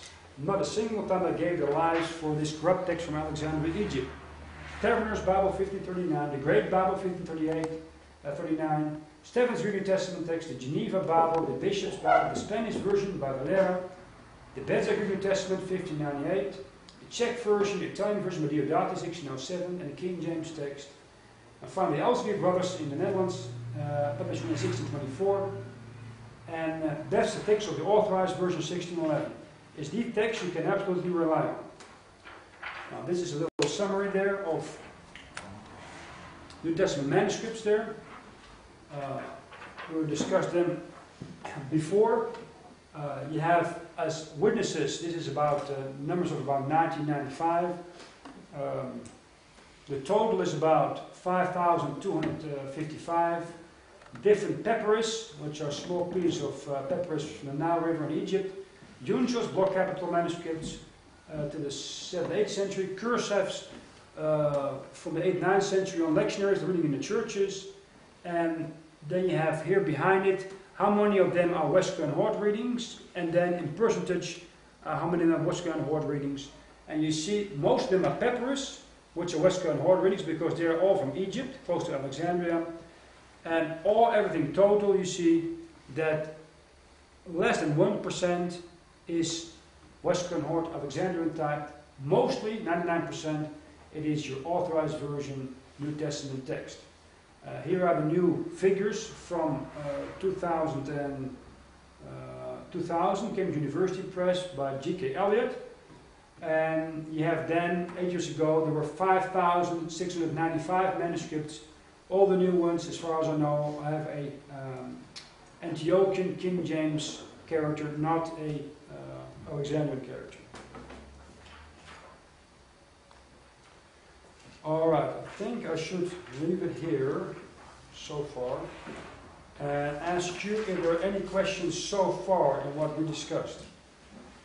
Any questions? Any, take these references. Uh, a couple of these references are typical for the authorized version, not only for the Greek text underlying the authorized version. Um, we discussed a few of them, uh, like uh, the infallible proofs about the resurrection of Christ, that there's many which corrupt the Word of God, confessing your faults one to another, um, despise of those that are good in the last days, study to show themselves approved unto God, uh, science falsely so gold, love of money is the root of all evil, 1 Timothy 6 10. Um, the deity of Jesus Christ as holy child, Jesus in Acts 4, Acts 2 about Jesus Christ's soul going to hell. These things have nothing to do with the Greek text, but have to do with how the, any Greek text is translated into English. The Greek in general is just the same. Now, you can, you, can cover them later. I want to say something uh, because uh, on, on, a, on, a, on a call the Greek receptus freaks. There is a, a movement now since the last 50 years coming up from the United States of America, uh, mainly because the King James Bible and preach and teach are hitting hard. The uh, uh, apostate uh, Alexandrians, and what the Alexandrians do now, they shift back from the corrupt uh, texts, Greek texts from Alexandria, to those of Antioch. So they say, well, we're going to go also with the Greek textus receptus, the received text. And you may think that, well, they only use the King James Bible, and they believe the Greek textus receptus. But in general, they're not Bible believers. What we mentioned, Bible is Bible is a book. So when you say I'm a Bible believer, you believe uh, this book. this book to be the absolute written authority in English language. But when you speak, when somebody says, I'm a Greek receptus believer, the Greek receptus is just a part of the Bible. It's not the whole Bible. Uh, what they're trying to do now is in Holland and England, they're going to put out a Greek receptus, the right Greek text, with a Hebrew Old Testament together in one book.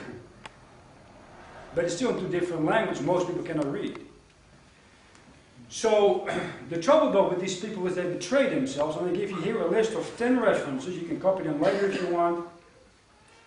And the thing is, today, if you want to get yourself a uh, Greek New Testament of the received text, it's mainly Berry's or Scrivener's. It's an American, that's an Englishman. And the King James is not always um, or these Greek New Testaments are not always word for word underlying the King James text, as they pretend to be. Especially by those who say we are Greek receptus freaks.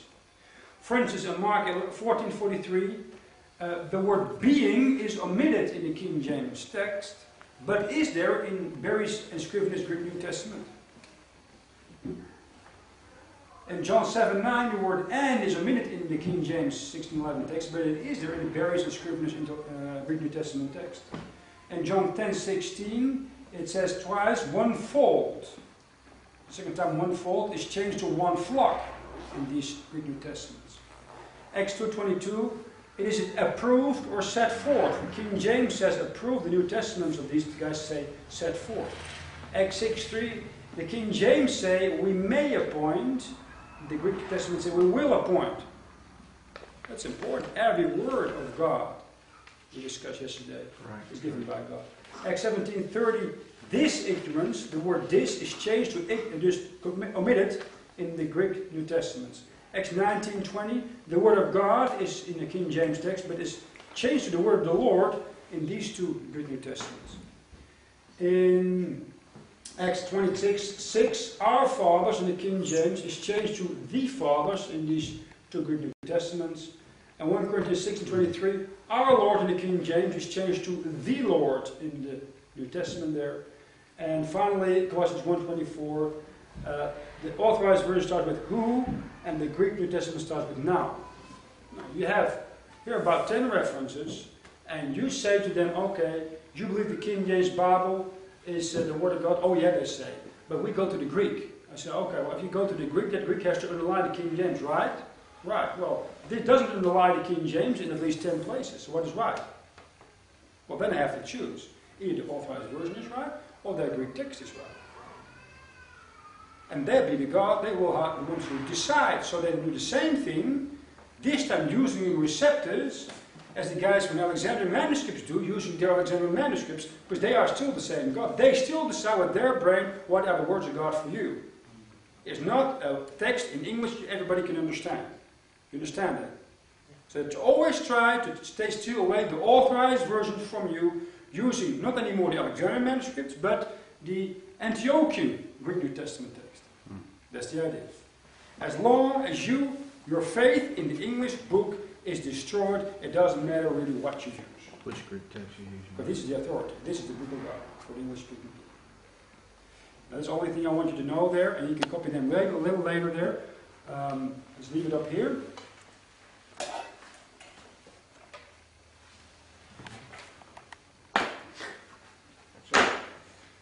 And let's uh, continue now with the uh, last part of the Built-in Dictionary in the New King James Bible. Okay, I think the lights. Yeah, show them all down. I'm not sure, there might be a problem there. See if it comes by you or. All I did was just place it on. You know, okay, you have to We'll see what it does. put the table back up too, I don't know. Move the camera. Uh, let's see what it does or not. We can also put a little bit forward otherwise. Okay, I'll make sure. Two more now, Do you want to put the um, thing back on the uh, table? I want to see what they want to do. Did it, uh? We can put it a little bit forward if you want. On what now? Pull it forward? We can put it We can put this whole thing forward probably. Well,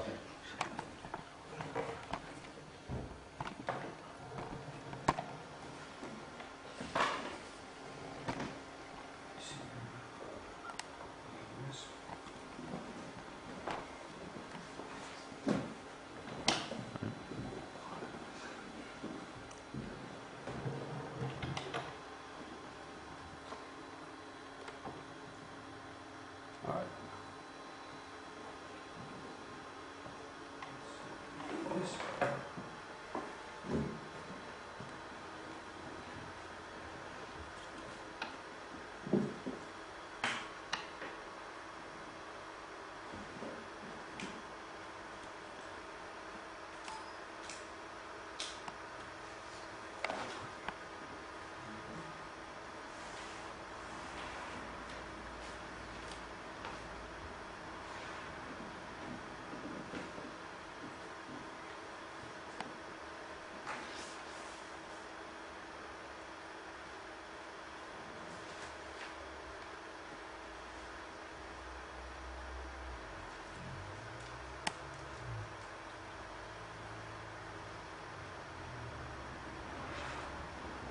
Forty-six or something.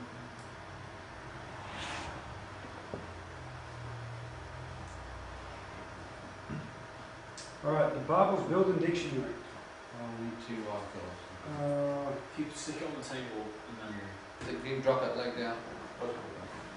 Kyle, you come pick that up. Yep.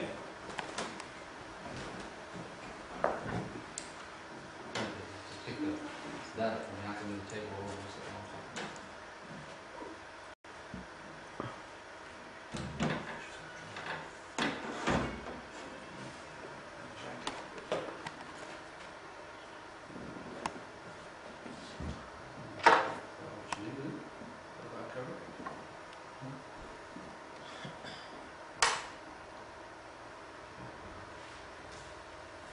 That's.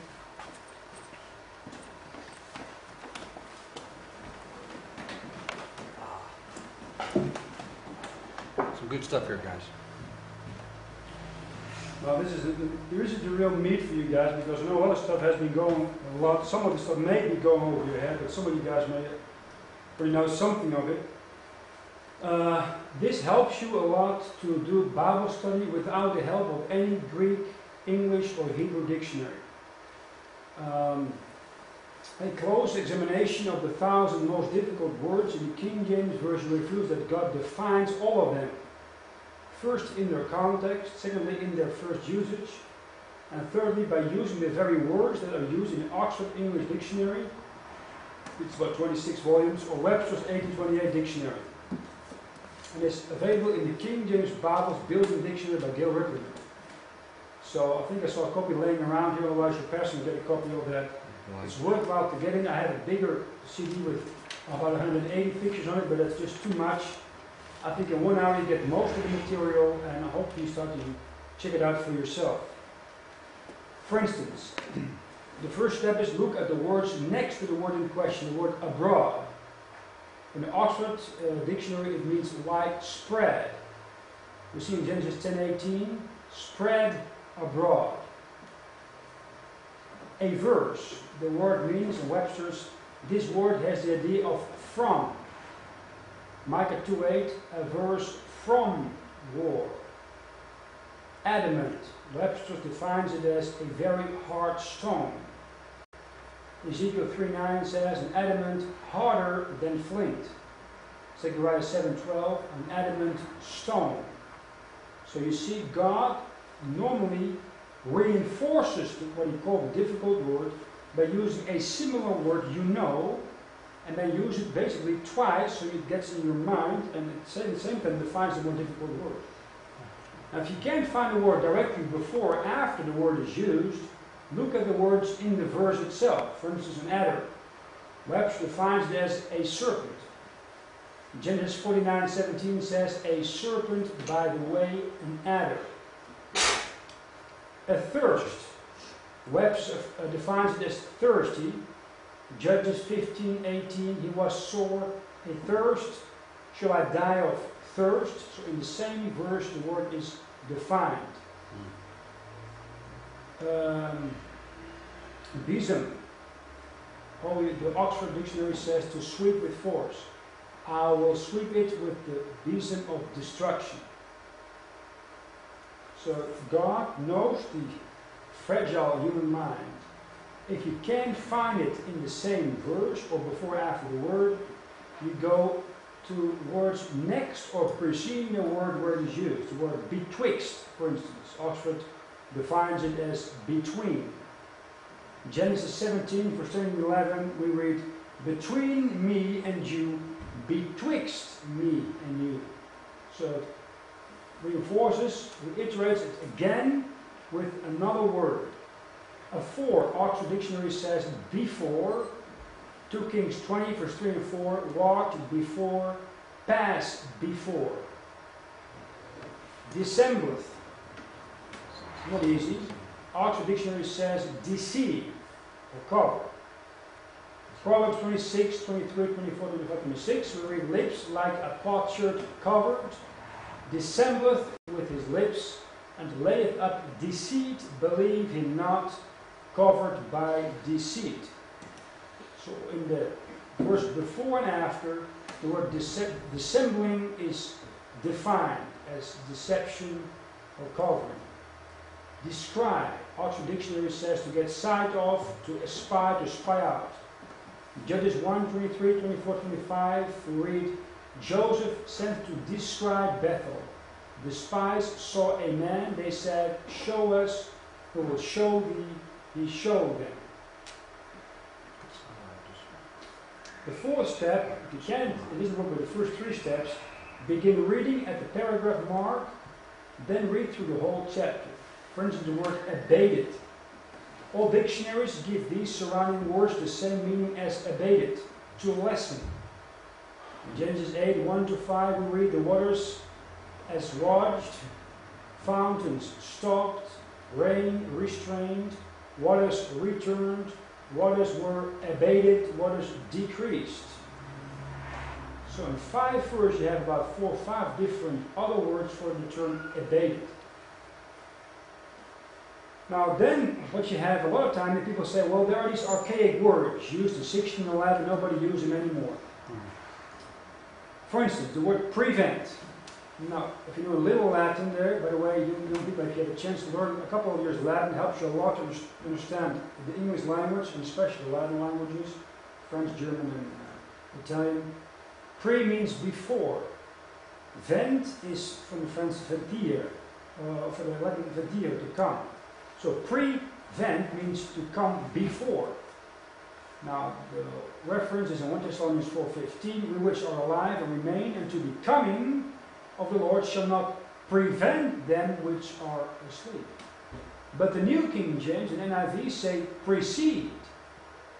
Now, ven comes from Latin word venir, which means to come. Seed comes from Latin word sede, which means to go away, to withdraw.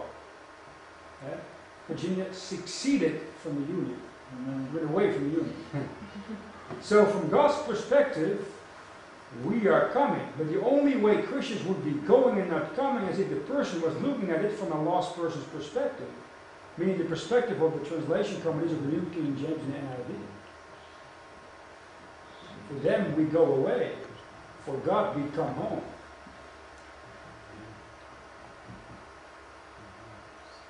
Now, when they say all about all these these and thous, that's just archaic stuff. Now, uh, in 1611, people didn't even use in the normal language thee and thou anymore. But the translators put it in there anyway. Why was that? Although many uh, do not realize it, thee and ye are easily understood.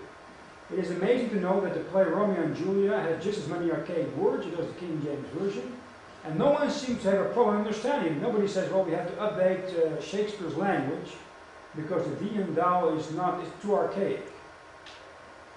One stick T words are singular, and the double broken stick ye words or the, the Y words are plural. So the nominative, the King James says thou. That's from the German du. And the NIV has you. The King James is ye in the plural form. And the German has ihr. So in the German there is a difference, it's a Germanic language where English is originally from, in du, thou, singular, and plural, ihr or ye. But the NIV has both views. You never know if it's a singular or plural person which is addressed. The objective there is the King James thee and uh, you in plural, and the NIV has just you. A possessive adjective is in the King James in the singular thy, thy word. The King James the plural is your words. But the NIV is both your. You don't see a, difference in that. And the possessive pronoun it is thine. It is uh, the word, the, the, the word which is the book is, is which is thine, or which is yours. You see the addressed person, either singular or plural. Not to be seen in NIV. Now, why is it so important? Look at John 3 7. Marvel not that I say unto you, sorry, that I say unto thee, ye must be born again. Notice here how Jesus phrases salvation. Marvel not that I say unto thee, that's singular. This tells Nicodemus that Jesus is speaking directly to him. Ye must be born again. Now, this tells Nicodemus that this requirement is the same for every person that is a sinner. Now, this addresses the thee of Nicodemus and changes that to the ye, to the reader right now reading the Word of God beside Nicodemus. The reader plus Nicodemus is ye, plural. New versions say, You should not be surprised at my saying, You must be born again. I guess that shows that it was just for Nicodemus, not for the one reading it. Uh, uh. Now, did you know that the first ye in the Bible was given by Satan? Did you know that God never said, Ye shall not eat of the tree? And did you know that God never told Eve that she, could not eat of the tree? Did you know that Satan is not as stupid as we human, uh, we Christians are? Did you know that by changing one word, Satan changed the meaning of God's message? And did you know that is exactly what Satan has done in modern versions? You miss all of these details in all modern versions. God deals with an individual soul on an individual one-on-one basis.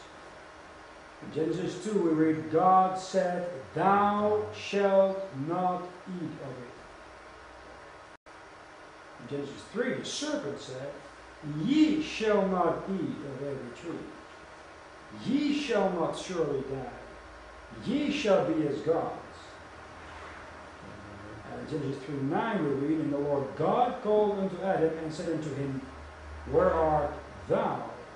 Hast thou eaten of the tree? God addressed the male. The snake addressed the female and the male by the male addressing the, female first. Now, the recent clamor about so-called inclusive language we talk about inclusive language. That's about the idea of that you take out the, uh, uh, mainly the male gender in the Bible. Uh, it, is, it is a smoke screen hiding the fact that the NIV has since its introduction in 1973 omitted male pronouns like he and him. Not only was lesbian Virginia Mollenkott a stylist, but the chairman of the Old Testament Committee, Martin Woudstra, that's a Frisian, was according to the homosexual group evangelicals concerned their friend. In order to emasculate the Bible, these editors must change 1,732 Greek singulars to English plurals like they and them. When this is done, the Bible loses its focus on the individuals and transfers it to the church. Of course, this matches precisely what the false doctrine being taught in many of today's churches. Uh, EA church membership is equivalent to salvation, like the Catholics. When the singular words he and him are replaced with they and them, the messianic prophecy disappears. Psalm 34:20 then has no reference to Christ at all. Other versions, like the New Revised Standard Version, CEV, NCV, and, and New Living Translation, are wholly gender inclusive. They omit father no less than 601 times, son no less than uh, 181 times, he and him no less than 3,408 times. The current NIV omits the word man 863 times. And the King James alone echoes the Greek and Hebrew genders precisely. Now here are a couple of examples. The one versus the Holy One. Jeremiah 2.11, had the nation changed their gods? Yeah, they did anyway, since about 120 years. Changing of the Gods by New Age author Naomi Goldenberg, it's by a Jewish girl, asserts God is going to change. We women are going to bring an end of it. Mm-hmm. Now Luke 10, 16, we read an authorized version, despiseth him. In the we read, rejects the one. A male anymore. It's a uh, Michael Jackson neuter. Yeah. Acts 10:42. It is he, is the King James. The NIV says this is the one. Colossians 3:10. Him, the King James, change it to the image of the one. Now, books like Sensuous Spirituality by Val lesbian editor Virginia Mollenkott echo the New Age movement hopes to replace the he of Christianity with the neuter one of Hinduism. If you're remembering Daniel, we have the reference to the Antichrist there, and he's a male, but he says he will not um, Guard regard the love of women, I think. uh, guard the preference of women or the desire of women. Desire of women, right. So it seems to be some kind of queer, or neuter, You can't say or something else, you know, which is not uh, male, but some, some neuter thing. Would it be incorrect? You can't say that? Exactly. You're politically incorrect. You can't say that. NIV stylist is author of the pro-homosexual book Sensuous Spirituality. This uh, Virginia Mollenkott jabs my lesbianism has always been a part of me. Ah.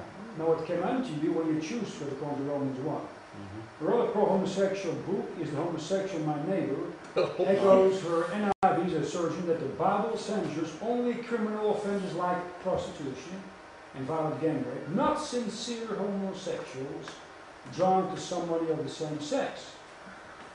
Now that, that, that spirit behind it comes back in all the new versions. And the King James Bible says in 1 Corinthians 6 9, effeminate. Yeah, that's right. Uh, the NIV changes that to male prostitutes nor homosexual offenders, but you still can be effeminate, Yeah. like most uh, homosexuals are. Yeah. Uh, Sodomites in the King James Bible in Deuteronomy 1 Kings and 2 Kings is changed to shrine prostitutes. No, a sodomite doesn't have to be a shrine prostitute to be a sinner in the eyes of God. Right. So what I do is here, the, this lady here covers up her own sin because sodomites is addressed to her and changed it so she says, well, I'm not a shrine prostitute, I'm not that bad. No, you are. You're a sodomite when you just translate the whole thing away. That's right. That's still the standard. So clear. Now, the sermon was more subtle. We talked about the New King James Bible there, and we will uh, put out some more material probably tomorrow on the chart there. And here's already a whole lot of stuff on why the New King James is not at all a new King James, it's a satanical imitation, uh, attacking Jesus Christ a whole lot of times. For instance, the word Lord is omitted if you compare with the standard, the authorized version 1611, 66 times. God is omitted 51 times. Heaven is omitted 50 times. Repent, politically incorrect word, uh, 44 times. Blood, that's a terrible thing. By blood redemption, you can get saved. Needs to be get out 23 times. Hell, of course, is completely politically incorrect, 22 times. Job misses entirely. New Testament misses entirely. Damnation is completely gone. That's, of course, too negative. And devils is completely gone and changed to demons. Why? Because they pick up the Greek philosophical idea there is one devil and a lot of demons, but in the Greek philosophical idea is demons can also be good spirits. Yeah, that's right. And devils can never be good spirits. Everybody knows that. So look at the connotation also. Evil, devil. See there? And when you they change to demon, that whole connotation of evil connected with devils is gone. The New King James Version ignored the Greek receptus over 1,200 times. So it's not at all based on the Greek receptus. Plus, the New King James replaced the King James Version Hebrew Old Testament Ben Chayyim with the corrupt Stuttgart edition Ben Asher. That's a uh, Ben Asher text, Gadensis, originally from Cairo, Egypt.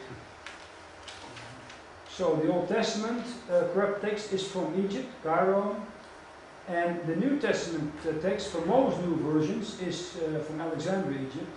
The New King James is a mixture between the uh, Alexandrian and um, the receptus text there. Now, the New King James Version also denotes Christ.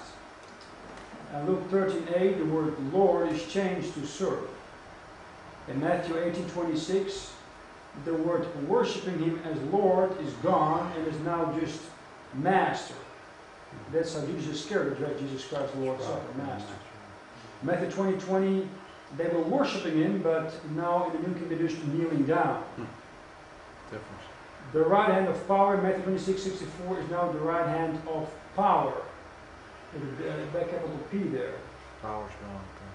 Uh, like, like the power or the force uh, with Darth Vader in uh, Star Wars. In Genesis 22, 8, God will provide himself a lamb. They changed that, that God himself will be the lamb. He, God will provide for himself the lamb. So in this way, God is not himself the lamb anymore, who will provide himself to be offered for the sins of the world. John 129, 123, 16. John 8, 35, the Son changed to a Son. Jesus Christ is not the only begotten Son of God anymore. Colossians 2 2, the mystery of God and of the Father and of Christ. And change to the mystery of God, both of the Father and of Christ. Matthew 19 16, good master changed to a good teacher. A teacher not the same as a master, he has some rule over you. A teacher doesn't have to be that, he can just impart knowledge. A lot of times, the New King James Bible copies the New World Translation of Jehovah's Witnesses. In this case, it demotes Christ. For instance, in Acts 3 13 and 26, it speaks of his son, Jesus. Very important. We say that to a Jew, he flips out because the Jew, an Orthodox Jew, believes God has only one son. It's the nation of Israel, his first begotten. Uh, as a nation, they call themselves the first begotten son. But as an individual, you can never say that's blasphemy. And that's the reason why the high priest was willing to crucify Jesus Christ when he made, made that statement on the question, Who art thou? So they changed to servant Jesus. The same in Acts 4 27 and 30. Holy child Jesus to holy servant Jesus. That's not at all uh, an, um, uh, a reproach to a Jew when you say that Jesus was a servant. The firstborn of every creature in Colossians 1.15 is changed to firstborn over all creation. Well, that's not the truth at all. It says, speak, speak, speak about creation speaks about creatures. And he was born there as a man, as a creature, not as a creation. Mark 2.15, the word Jesus completely omitted. Mm. And Hebrews 4.8 and Acts 7.45, the word Jesus is taken to Joshua because they think it refers to the Old Testament. But that Joshua is a type of Jesus Christ in the New Testament, and the Greek word is Jesus himself. So that's just private interpretation in the New Testament. Um, finally, 2 Timothy 3 5, patient waiting for Christ is changed the patience of Christ. Now you have by the grace of God waiting patiently that Jesus Christ will come back to get you. Mm. Nothing to do with the patience of Christ himself. Now it continues, the New King James covers the New World Translation when it comes to demoting the Trinity. The King James Bible speaks in Acts 17.29 and Paul says to the Athenians about the Godhead, changed to the divine nature. Well, that's what all the Hindus believe, that all these gods have uh, divine natures. Uh, Philippians 4.20, the God and our Father changed to our God and Father. Revelation 1.6, God and His Father changed to His God and Father. Now the trouble is, in Revelation 1, is speaking of Jesus Christ, He is God and His Father. But here, uh, the New King James changed that to Jesus Christ as His God. He's not God Himself anymore. It's very subtle, you see that? But if you look uh, carefully, you see the uh, doctrinal implications there. Colossians 3.17, God and the Father by Him, God and the Father, God the Father through Him. And finally, they deny the idea that uh, the Holy Ghost is a person who can comfort, he is just a helper, a, a, power, a strength, a force, it is there. Now, the New King James also covers the New World Translation of Jehovah's Witnesses when it comes to works of progressive salvation. Uh, 1 Corinthians 11.1, Paul says that be followers of Christ, not imitators of Christ. The great imitator is uh, the God of his world. Faith in Romans 3 3 is changed to faithfulness, that's a work. You have to be faithful in things you do, but faith is something that has nothing to do with works at all. It's exercising faith on the basis of what God says. Revelation, Romans 11.30, not believe it is changed to disobedient, a work. That's all Roman Catholic uh, pagan doctrine works. Romans 11.32, unbelief changed to disobedient. 1 Corinthians 1.18, are saved, you are saved, that's a present state, is now are being saved. You never know if you're saved at all. You're in the process of being saved. That was, that's what more than a billion Catholics believe. They keep the seven sacraments and they are being saved, but they have to die in a state of grace. If not, well, they just spend a couple of thousand years in purgatory. But nobody can say, I am saved. 2 Corinthians 2.15, are saved to change in are being saved. I bet you can ask the Joe Witnesses, are are you, are you born again? No. Uh, well, you say, well, I hope so. Is that the Catholic and Protestant says? Ephesians 2.8, are saved, again, changed to have been saved. Now here we see the uh, religious tolerance or uh, of the, um, the little bit of that. Pull the whole thing if you want. The next, uh, 1721, we see that Paul addresses the Athenians as being too superstitious. As most people today have all kind of idols in their heart. We discussed that in the first night in Ezekiel 14. Uh, to the New King James says, well, you're very religious. No, when you go to India, with its 300 million gods, you have superstitious people who worship uh, idols of stone and metal. That's not the same as fellow religious. Psalm 91, the heathen, that's a name for people who are without God, without hope, without Christ, is changed to nations. That's not the same. In Revelation uh, 21 22, you see the nations which are saved coming to the New Jerusalem. They're not heathen. Acts 25 19, superstition is changed to religion. It's politically more correct. It's not that negative. That's right. And the, the main trouble there in Acts 24 14, the heresy. Bible-believing Christians in the day were called a heresy. And it's changed to a sect. Right now, according to the Council of Trent, all of you here are all heretics. Because there are more than 100 uh, curses placed on your head because you believe to be saved once and for all in the finished work of Jesus Christ on the cross. Uh, without baptism, without any work, without any sacrament, without any help of the church your own, then you're a heretic according to them. A sect is just a group which is um, separated from another group. The Latin word secare, meaning to cut off. That's not the same as heresy at all. Now, the New King James Version covers the New World Translation many times in pantheism, androgyny, and gender equity. Uh, Luke 17, 9 and 20, we read in the King James Version, He that should come is now the coming one, is the neuter. Is it the male anymore you expect? It's some kind of a uh, female uh, male mix. John 17, 18, he and his is new, the one. A very important one, John 4, 24. God is a spirit, which means he is separate from his creation. Is now in the pantheistic idea, God is spirit, God is in everything. That is the idea of the uh, Greenpeace and the tree huggers. You can't uh, put a tree out of your garden there, are your great granddaddy might live in there. But you can't uh, step on an arm because it might be your great grandmother coming back as an arm there, and you have to protect the environment there. Uh, in spite of the human beings, and these people are willing to kill human beings to preserve nature or animals. That's right. Because God is spirit, He's in everything. If you want to know what the result of that is, look at uh, Hinduism, you know, and go to India for a couple of months and see how great it is there and see if you want to come back or not. 2 Corinthians 2.18, person is changed to presence. Hmm. Uh, the, the all presence of God in everything. And finally, Genesis 2.18, a helpmeet for him. Guys, you need a helpmeet for you, is now a helper comparable to you. You don't need at all, there can be some kind of queer. A helpmeet is someone who is a help, who has some qualities you don't have. But it ought to be comparable at all. That's the typical feministic bunk coming in there.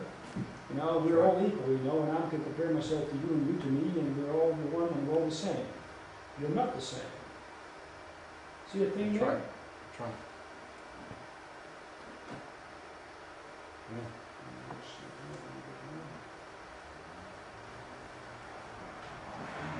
Finally, the self-esteem. Of course, we all are full of self-esteem. We want to love ourselves and hug ourselves and feel good about ourselves. And we do anything wrong, we say, well, the devil made me do it. Well, in this case, the New King James also covers the New World Translation of Jehovah's Witnesses. Your body is not anymore vile, according to Philippians 3.20, but just lowly.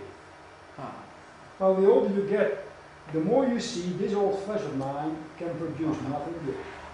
Amen. Amen. Amen. Amen. All the time. Uh, the, the whole world lieth in wickedness. This whole present world is absolutely evil. When you're young, you think everything looks so shiny. The older you get, the more you see this world is absolutely uh, full of sin. But it says here in 1 John 5 19 in New King James Bible, the whole world lies under the sway of the wicked one. It's just uh, the, the wicked one, and it is his fault. We have his trouble there. But uh, it's not me and human beings. It is of course we are just all made in the presence and in the image of God anyway. You know. Luke 11:4, the end of the prayer, Lord's prayer, deliver us from evil. It's a prayer. Change to deliver us from the evil one. Now, evil in general, not just the devil. There's all kind of evil, including evil from your own flesh. It's taken out in the New King James. Of course, you know, because the, New, the King James has these archaic words you don't understand. 2 Corinthians 1.12, rejoicing. You can rejoice in certain things, especially in suffering. Here you have to boast in certain things. There's a difference in boasting and rejoicing. See that, that thing of yourself, boasting, uh, only a lonely body, the word always in the soul the wicked one, delivers from the evil one. It makes the, the, the person himself look good. You're not as bad as the Bible says we are. And that's the spirit of the pulpit in the last days. It is a spirit of humanistic pragmatism, look at me, and a refusal as a Christian to deny oneself, take up the cross, and just get a beating for Jesus Christ. And when you get any suffering, you learn to rejoice that that spirit is completely gone among the Bible and preachers, as well as among the ministers and the churches here in England in the last days. And uh, it has to do with starting with the book and then with the, pre- the lack of preaching and teaching from the King James Bible. All right, I want to leave it here. And um, I don't know how much time we have left here. I'm sorry. one quick question. It's been going 40 minutes. 40 minutes? It's about 20, 25 minutes. Anybody have some questions? Yeah, if you have any questions here, uh, just open call for some questions. If I got a question, raise your hand, John, see your hand. Yeah. Yeah, good. Um, you've had quite a lot of success in um, getting blokes saved in, over in Switzerland. Uh, I, I don't mean to you know, take any glory away from the door, but we don't seem to reproduce that kind of success over here. I mean, if you look around, there's only as many guys as were here last time. Right. And you know, you've been saying all week that the, the church has to be built by by you know by the men. Yeah. But what happens when you when there's a sort of lack of it? I mean, where do you go from there? Um, most of the time, in my experience, uh, it can it can be different reasons. Uh, you have to be a little careful on these things. Um, it can be the um, uh, it can first of all it's not the Lord. Most of the time, it is that the um, the people itself have to learn something. For instance, when I was in Switzerland, I was in Liechtenstein for a couple of years. Uh, I preached and taught the same stuff in the same way I preach now and teach now. There's nothing different.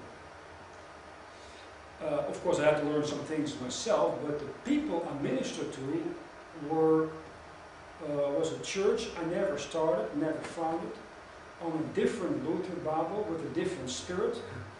It was a spirit, I didn't know it when I came there. They were drinking alcohol, they were smoking, and the running, all the women were running the man.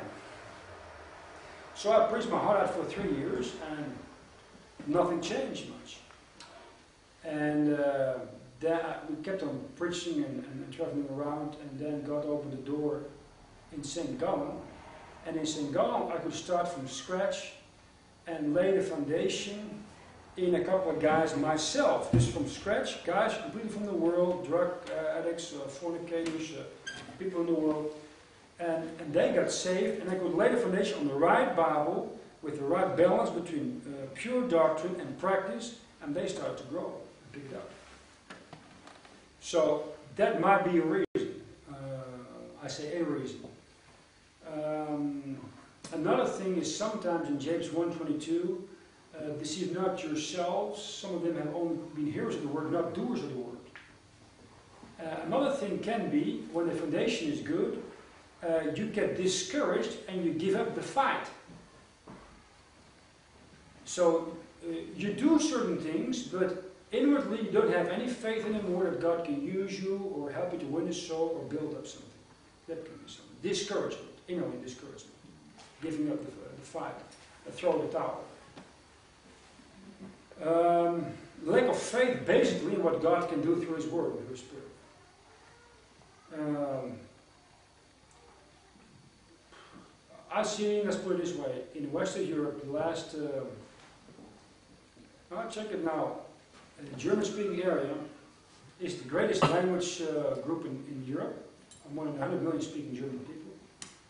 I, I checked now, uh, I came out eight years ago, I said, well, where is the material produced by Bible-believing missionaries in the Second World War? Because a lot of missionaries have been on. There's hardly any Bible-believing material in German. Okay? What is the material, or what is the, where are the men, the nationals, trained by Bible-believing missionaries? Last 60 years. I know only one. So, another thing I sometimes see is um, when you start and you get the Word of God out and you sow the seed, God has to give the increase. But there's always something of uh, having a little further vision in getting doctrinal material out and training nationals. And what you have received, I think, is Lord Dickens has trained you to get a good foundation in the Word of God and learn to pursue, preach, and witness and so on. And after some time, it is you who have to do the work and pass it on. I always tell the guys in Switzerland, um, you are better soul winners as I am. You can better reach your own people than I, because I'm a Dutchman. You're a Swiss. And I'm not able to help you become good soldiers and if you're not able to relate good to people in your own environment, and I'm not able to feed you, I failed. But in Liechtenstein, did the same thing, and nothing happened there because they refused to be doers of the word, not only hearers of the word. So that's why I say it can be a mixture of things. Um, I don't know what it can be, uh, but the main thing is always to search yourself in the light of God's Word and say, Lord, uh, you show me what hinders me, by the grace of God, to be a, become a blessing for others. And sometimes, uh, when you're young, is not always you win souls and a ministry, but God many times has to work in you and at you before He can use you to become a blessing or a channel of blessing to others. Um, it was with me the same thing there. I started as a, 20 year old, got saved. So the student ministry there was responsible for the last five, six years. And eventually got getting saved there, went to America there, had to start all over again. After three years, went back to Liechtenstein it's all over again. And then after three years, had to go to Switzerland, had to start all over again in the fourth country. That's not an encouraging thing. You start something, see something, oh, okay, guy, you, you, you learned your lesson, now you go to the next thing. And I think by myself, well, I'm 40 years of age, I'm not running circles all the time. But what it is, is God is teaching you all kind of things, and you grow, so you become a better minister. So it's not always the amount of visible fruit or souls, but also the inward growth in the grace and knowledge of Jesus Christ. Now, for me, that's hard to uh, find out because I only see you a week. It's hard to say. But I know pretty much that you've been going through uh, the last years through a hard time.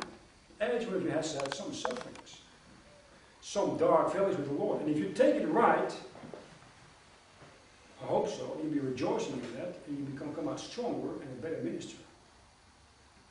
And I don't know what, but I'm pretty much sure that uh, I've seen quite a lot of these ministries in Europe, small churches there, but you've got a couple of good guys over here. If you keep on plowing there, you would be, you should be become the guys for uh, uh, preaching and, and, and teaching the Word of God to the English-speaking people in the next 20, 30 years. You should do it. Good, good, Say, well, I I think, you know, what you should. You got plenty of stuff. You got way more stuff than any uh, graduate after four to six years with an MA from Oxford or Cambridge University.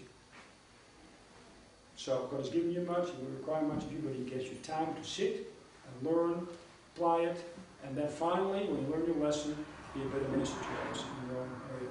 But you're better ministers by nature, because you're English, or Brother Dickens is, and people in Switzerland are better ministers to their own people as I am as a Dutchman from outside. I get more honor because a prophet is never honored in his own country. So I get more honor there, and they don't, but they are more effective in Switzerland. So it's a kind of, uh, uh, I, I cannot say uh, why certain things don't come to pass or, or come to pass. Uh, you have to ask the Lord about it and yourself about it. But the main thing is you make sure you learn your lesson and pass the tests and the, and the, testings God's given you. And God will make sure that in due time uh, He'll use you to be a blessing to others. Amen. That's the only thing I can say about it. Who else, any other questions? Um, was it just the NIV, or was it all the new versions that omitted the word man 861 times? The word what? Man. Man, it omitted. That was the NIV specifically. But if you take the other versions, I would guess over a thousand times the same thing there. Man. And what word was it that made the Jews flip out? Because they didn't believe that Jesus was the Son of God, or Which word? Can you say it again? What made the, the Jews flip out? Was it, uh, Oh, it was uh, in word. uh, 2 and Acts 3, the, the word that holy child Jesus. Uh, Uh, holy child means holy son, and a Jew believes not that God has a son as an individual man. That's blasphemy. Only the Messiah will be that. Uh, but only um, a uh, uh, Israel a nation is called the Son of God. That's right. Does a, does a man that has not been called to preach have any place in the pulpit? Uh, he can. Uh, I, I say this because the, the pastor's going to go on, you know, to the, to the Bible school, uh, to the, the pastors' conference, and, and I volunteer to preach for, you know, it's only for one Sunday, right. but I haven't been called to preach.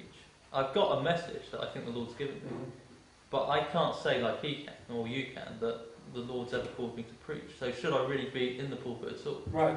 Well, for instance, myself, uh, called to preach, not called to preach. Uh, I got saved. I want to witness. I want to help the guys who got saved. I went to PBI. I, I want to learn Greek, Hebrew, Mention Devils. When I was a preacher school, I loved to preach in the street. Did everything I could to preach uh, a couple of times a week outside of Pensacola. And then God got me a chance to become a, a pastor. I never wanted to become a pastor, took it anyway. I never thought much about my call to preach. I just did it whenever there was an opportunity. I had peace about the whole thing there. And really, I never uh, heard about being called to preach until I came to PBI. So the call to preach, uh, I don't know, it's between individual thing between you and the Lord. If you believe God uh, wants you to, uh, for instance, uh, you get a request for a pastor, can you fill in the pulpit? You pray about it. You get an answer. I, I, mean, I, I volunteer, so All right, the volunteers are here and I send me. That's what Desire said too. Well, if you do, and, and, and do what God wants you to do, to serve Him, there are a couple of things which you can find out if that's something which is a blessing to others. You get joy in it, uh, others get a blessing out of it, others see something in it which is help for you, um, or they get help themselves. And these are all outward things where you can say, if I do it, and others get a blessing out of it, it's like we're doing the dishes here or something else. Well, then do it. And especially when your pastor asks you to do it. And he says nothing against it when you volunteer. I'll. Yeah, but I want to be a little, a little bit careful about these specific calls to preach because I've seen a lot of guys there. "Oh, I'm called to preach, you know, and I'd rather preach than eat. And ten years later, he hasn't what they're doing now. Eating. Eating, yeah. Oh, I bet it belongs to the Lord, you know. Praise God, you know. Uh, so uh, the, the call to preach, I, I'm, a, I'm a little uh, skeptical about these things. No, there's a call to preach. Uh, don't get me wrong there, but uh, it's better. Was it David Livingstone? Uh, what's his name? A famous missionary to, uh, I think, Africa, from South Africa. He came back to England in the 19th century and visited churches, know, to get uh, funds and people. And when he was set up to preach in a church like this, with three old ladies, you know, and organ playing, you know, and he was doing a story, you know, about the need of men who come into the dark woods of Africa, preaching the word of God to the, uh, the savages and the heathen there. And at the end, he said, "Well, anybody there who uh, wants to volunteer?" These ladies, you know, and they look like, "Oh, we pray for you, preacher." And then the organs are going, "Oh," and then the meeting. And at the end of the meeting, a little boy slips out beside the organ and comes and says. Uh, organ player. I like uh, David Livingstone. I like to, you know, be, become a help the guys there. And uh, when God was, and the guy said, okay, okay, kid, you know, go to medical college. He went, and finally ended up in Africa, and his name was David Livingstone. He's got called to preach, and medical doctor told him that. So, you know, the, the thing I, I think is, uh, you're in a church, you do what you can, you have the Christian Union stuff, you see God blesses that. Uh, you volunteer, you do it, and uh, your pastor most of the time sees things in you you don't see. Especially when you're in some kind of battle or some kind of race, you know, and you don't see certain things, but the pastor sees them. When I went to PBI, uh, I came there and I wanted to learn Greek, Hebrew, Words, and I thought I would become, uh, become a street preacher and take Europe for Christ. And um, came back in 2000. Uh, no, in 1999 went through, we came over here with you being and, and Jimmy Hood. And then we came to Austria, and there was a missionary who needed a pastor for a church in Liechtenstein. And I met him, and I met him only two days, and he came to PBI 1999. I told Dr. Ruckman about it. Dr. Ruckman came through there. I talked about uh, the need for a pastor, and they both said, thought I was the ideal person. I never wanted to be a pastor. I hated pastoring. I hated a pastor or a, uh, a reverend. Uh, I remember my, my grandmother telling me, you should become a reverend because you can learn. I said, no, I'll become a professional soccer player. I despise pastors. And Dr. Ruckman saw something different already. And in 2003 I came back and he gave me a PhD for some kind of work. That's a teaching degree. I don't like teaching at all. But the old man sees something I never saw. Your pastor probably sees something you don't see. So when there's a chance, he said, why don't you do it? And he doesn't say anything, just do it. A lot of times the old, the old, the old uh, guard sees different things in a young man than a young man sees himself. And the best is to be faithful, to what God gives you to do. And He seems fit and to put you in place at some time. After you do a whole lot of things in a local church, He says that's something which is good for you, which is a blessing for you. But it's the kind of attitude you just develop as a servant in a small church is a, great privilege, which you don't have in big church. You do all kind of stuff, especially when you're not going on furlough, for instance. You can do all kind of stuff in a local church, and later on you'll be thankful. Now you say, man, I do this and this and this and this. It's good for your character. Ms. Ellen, you have a question?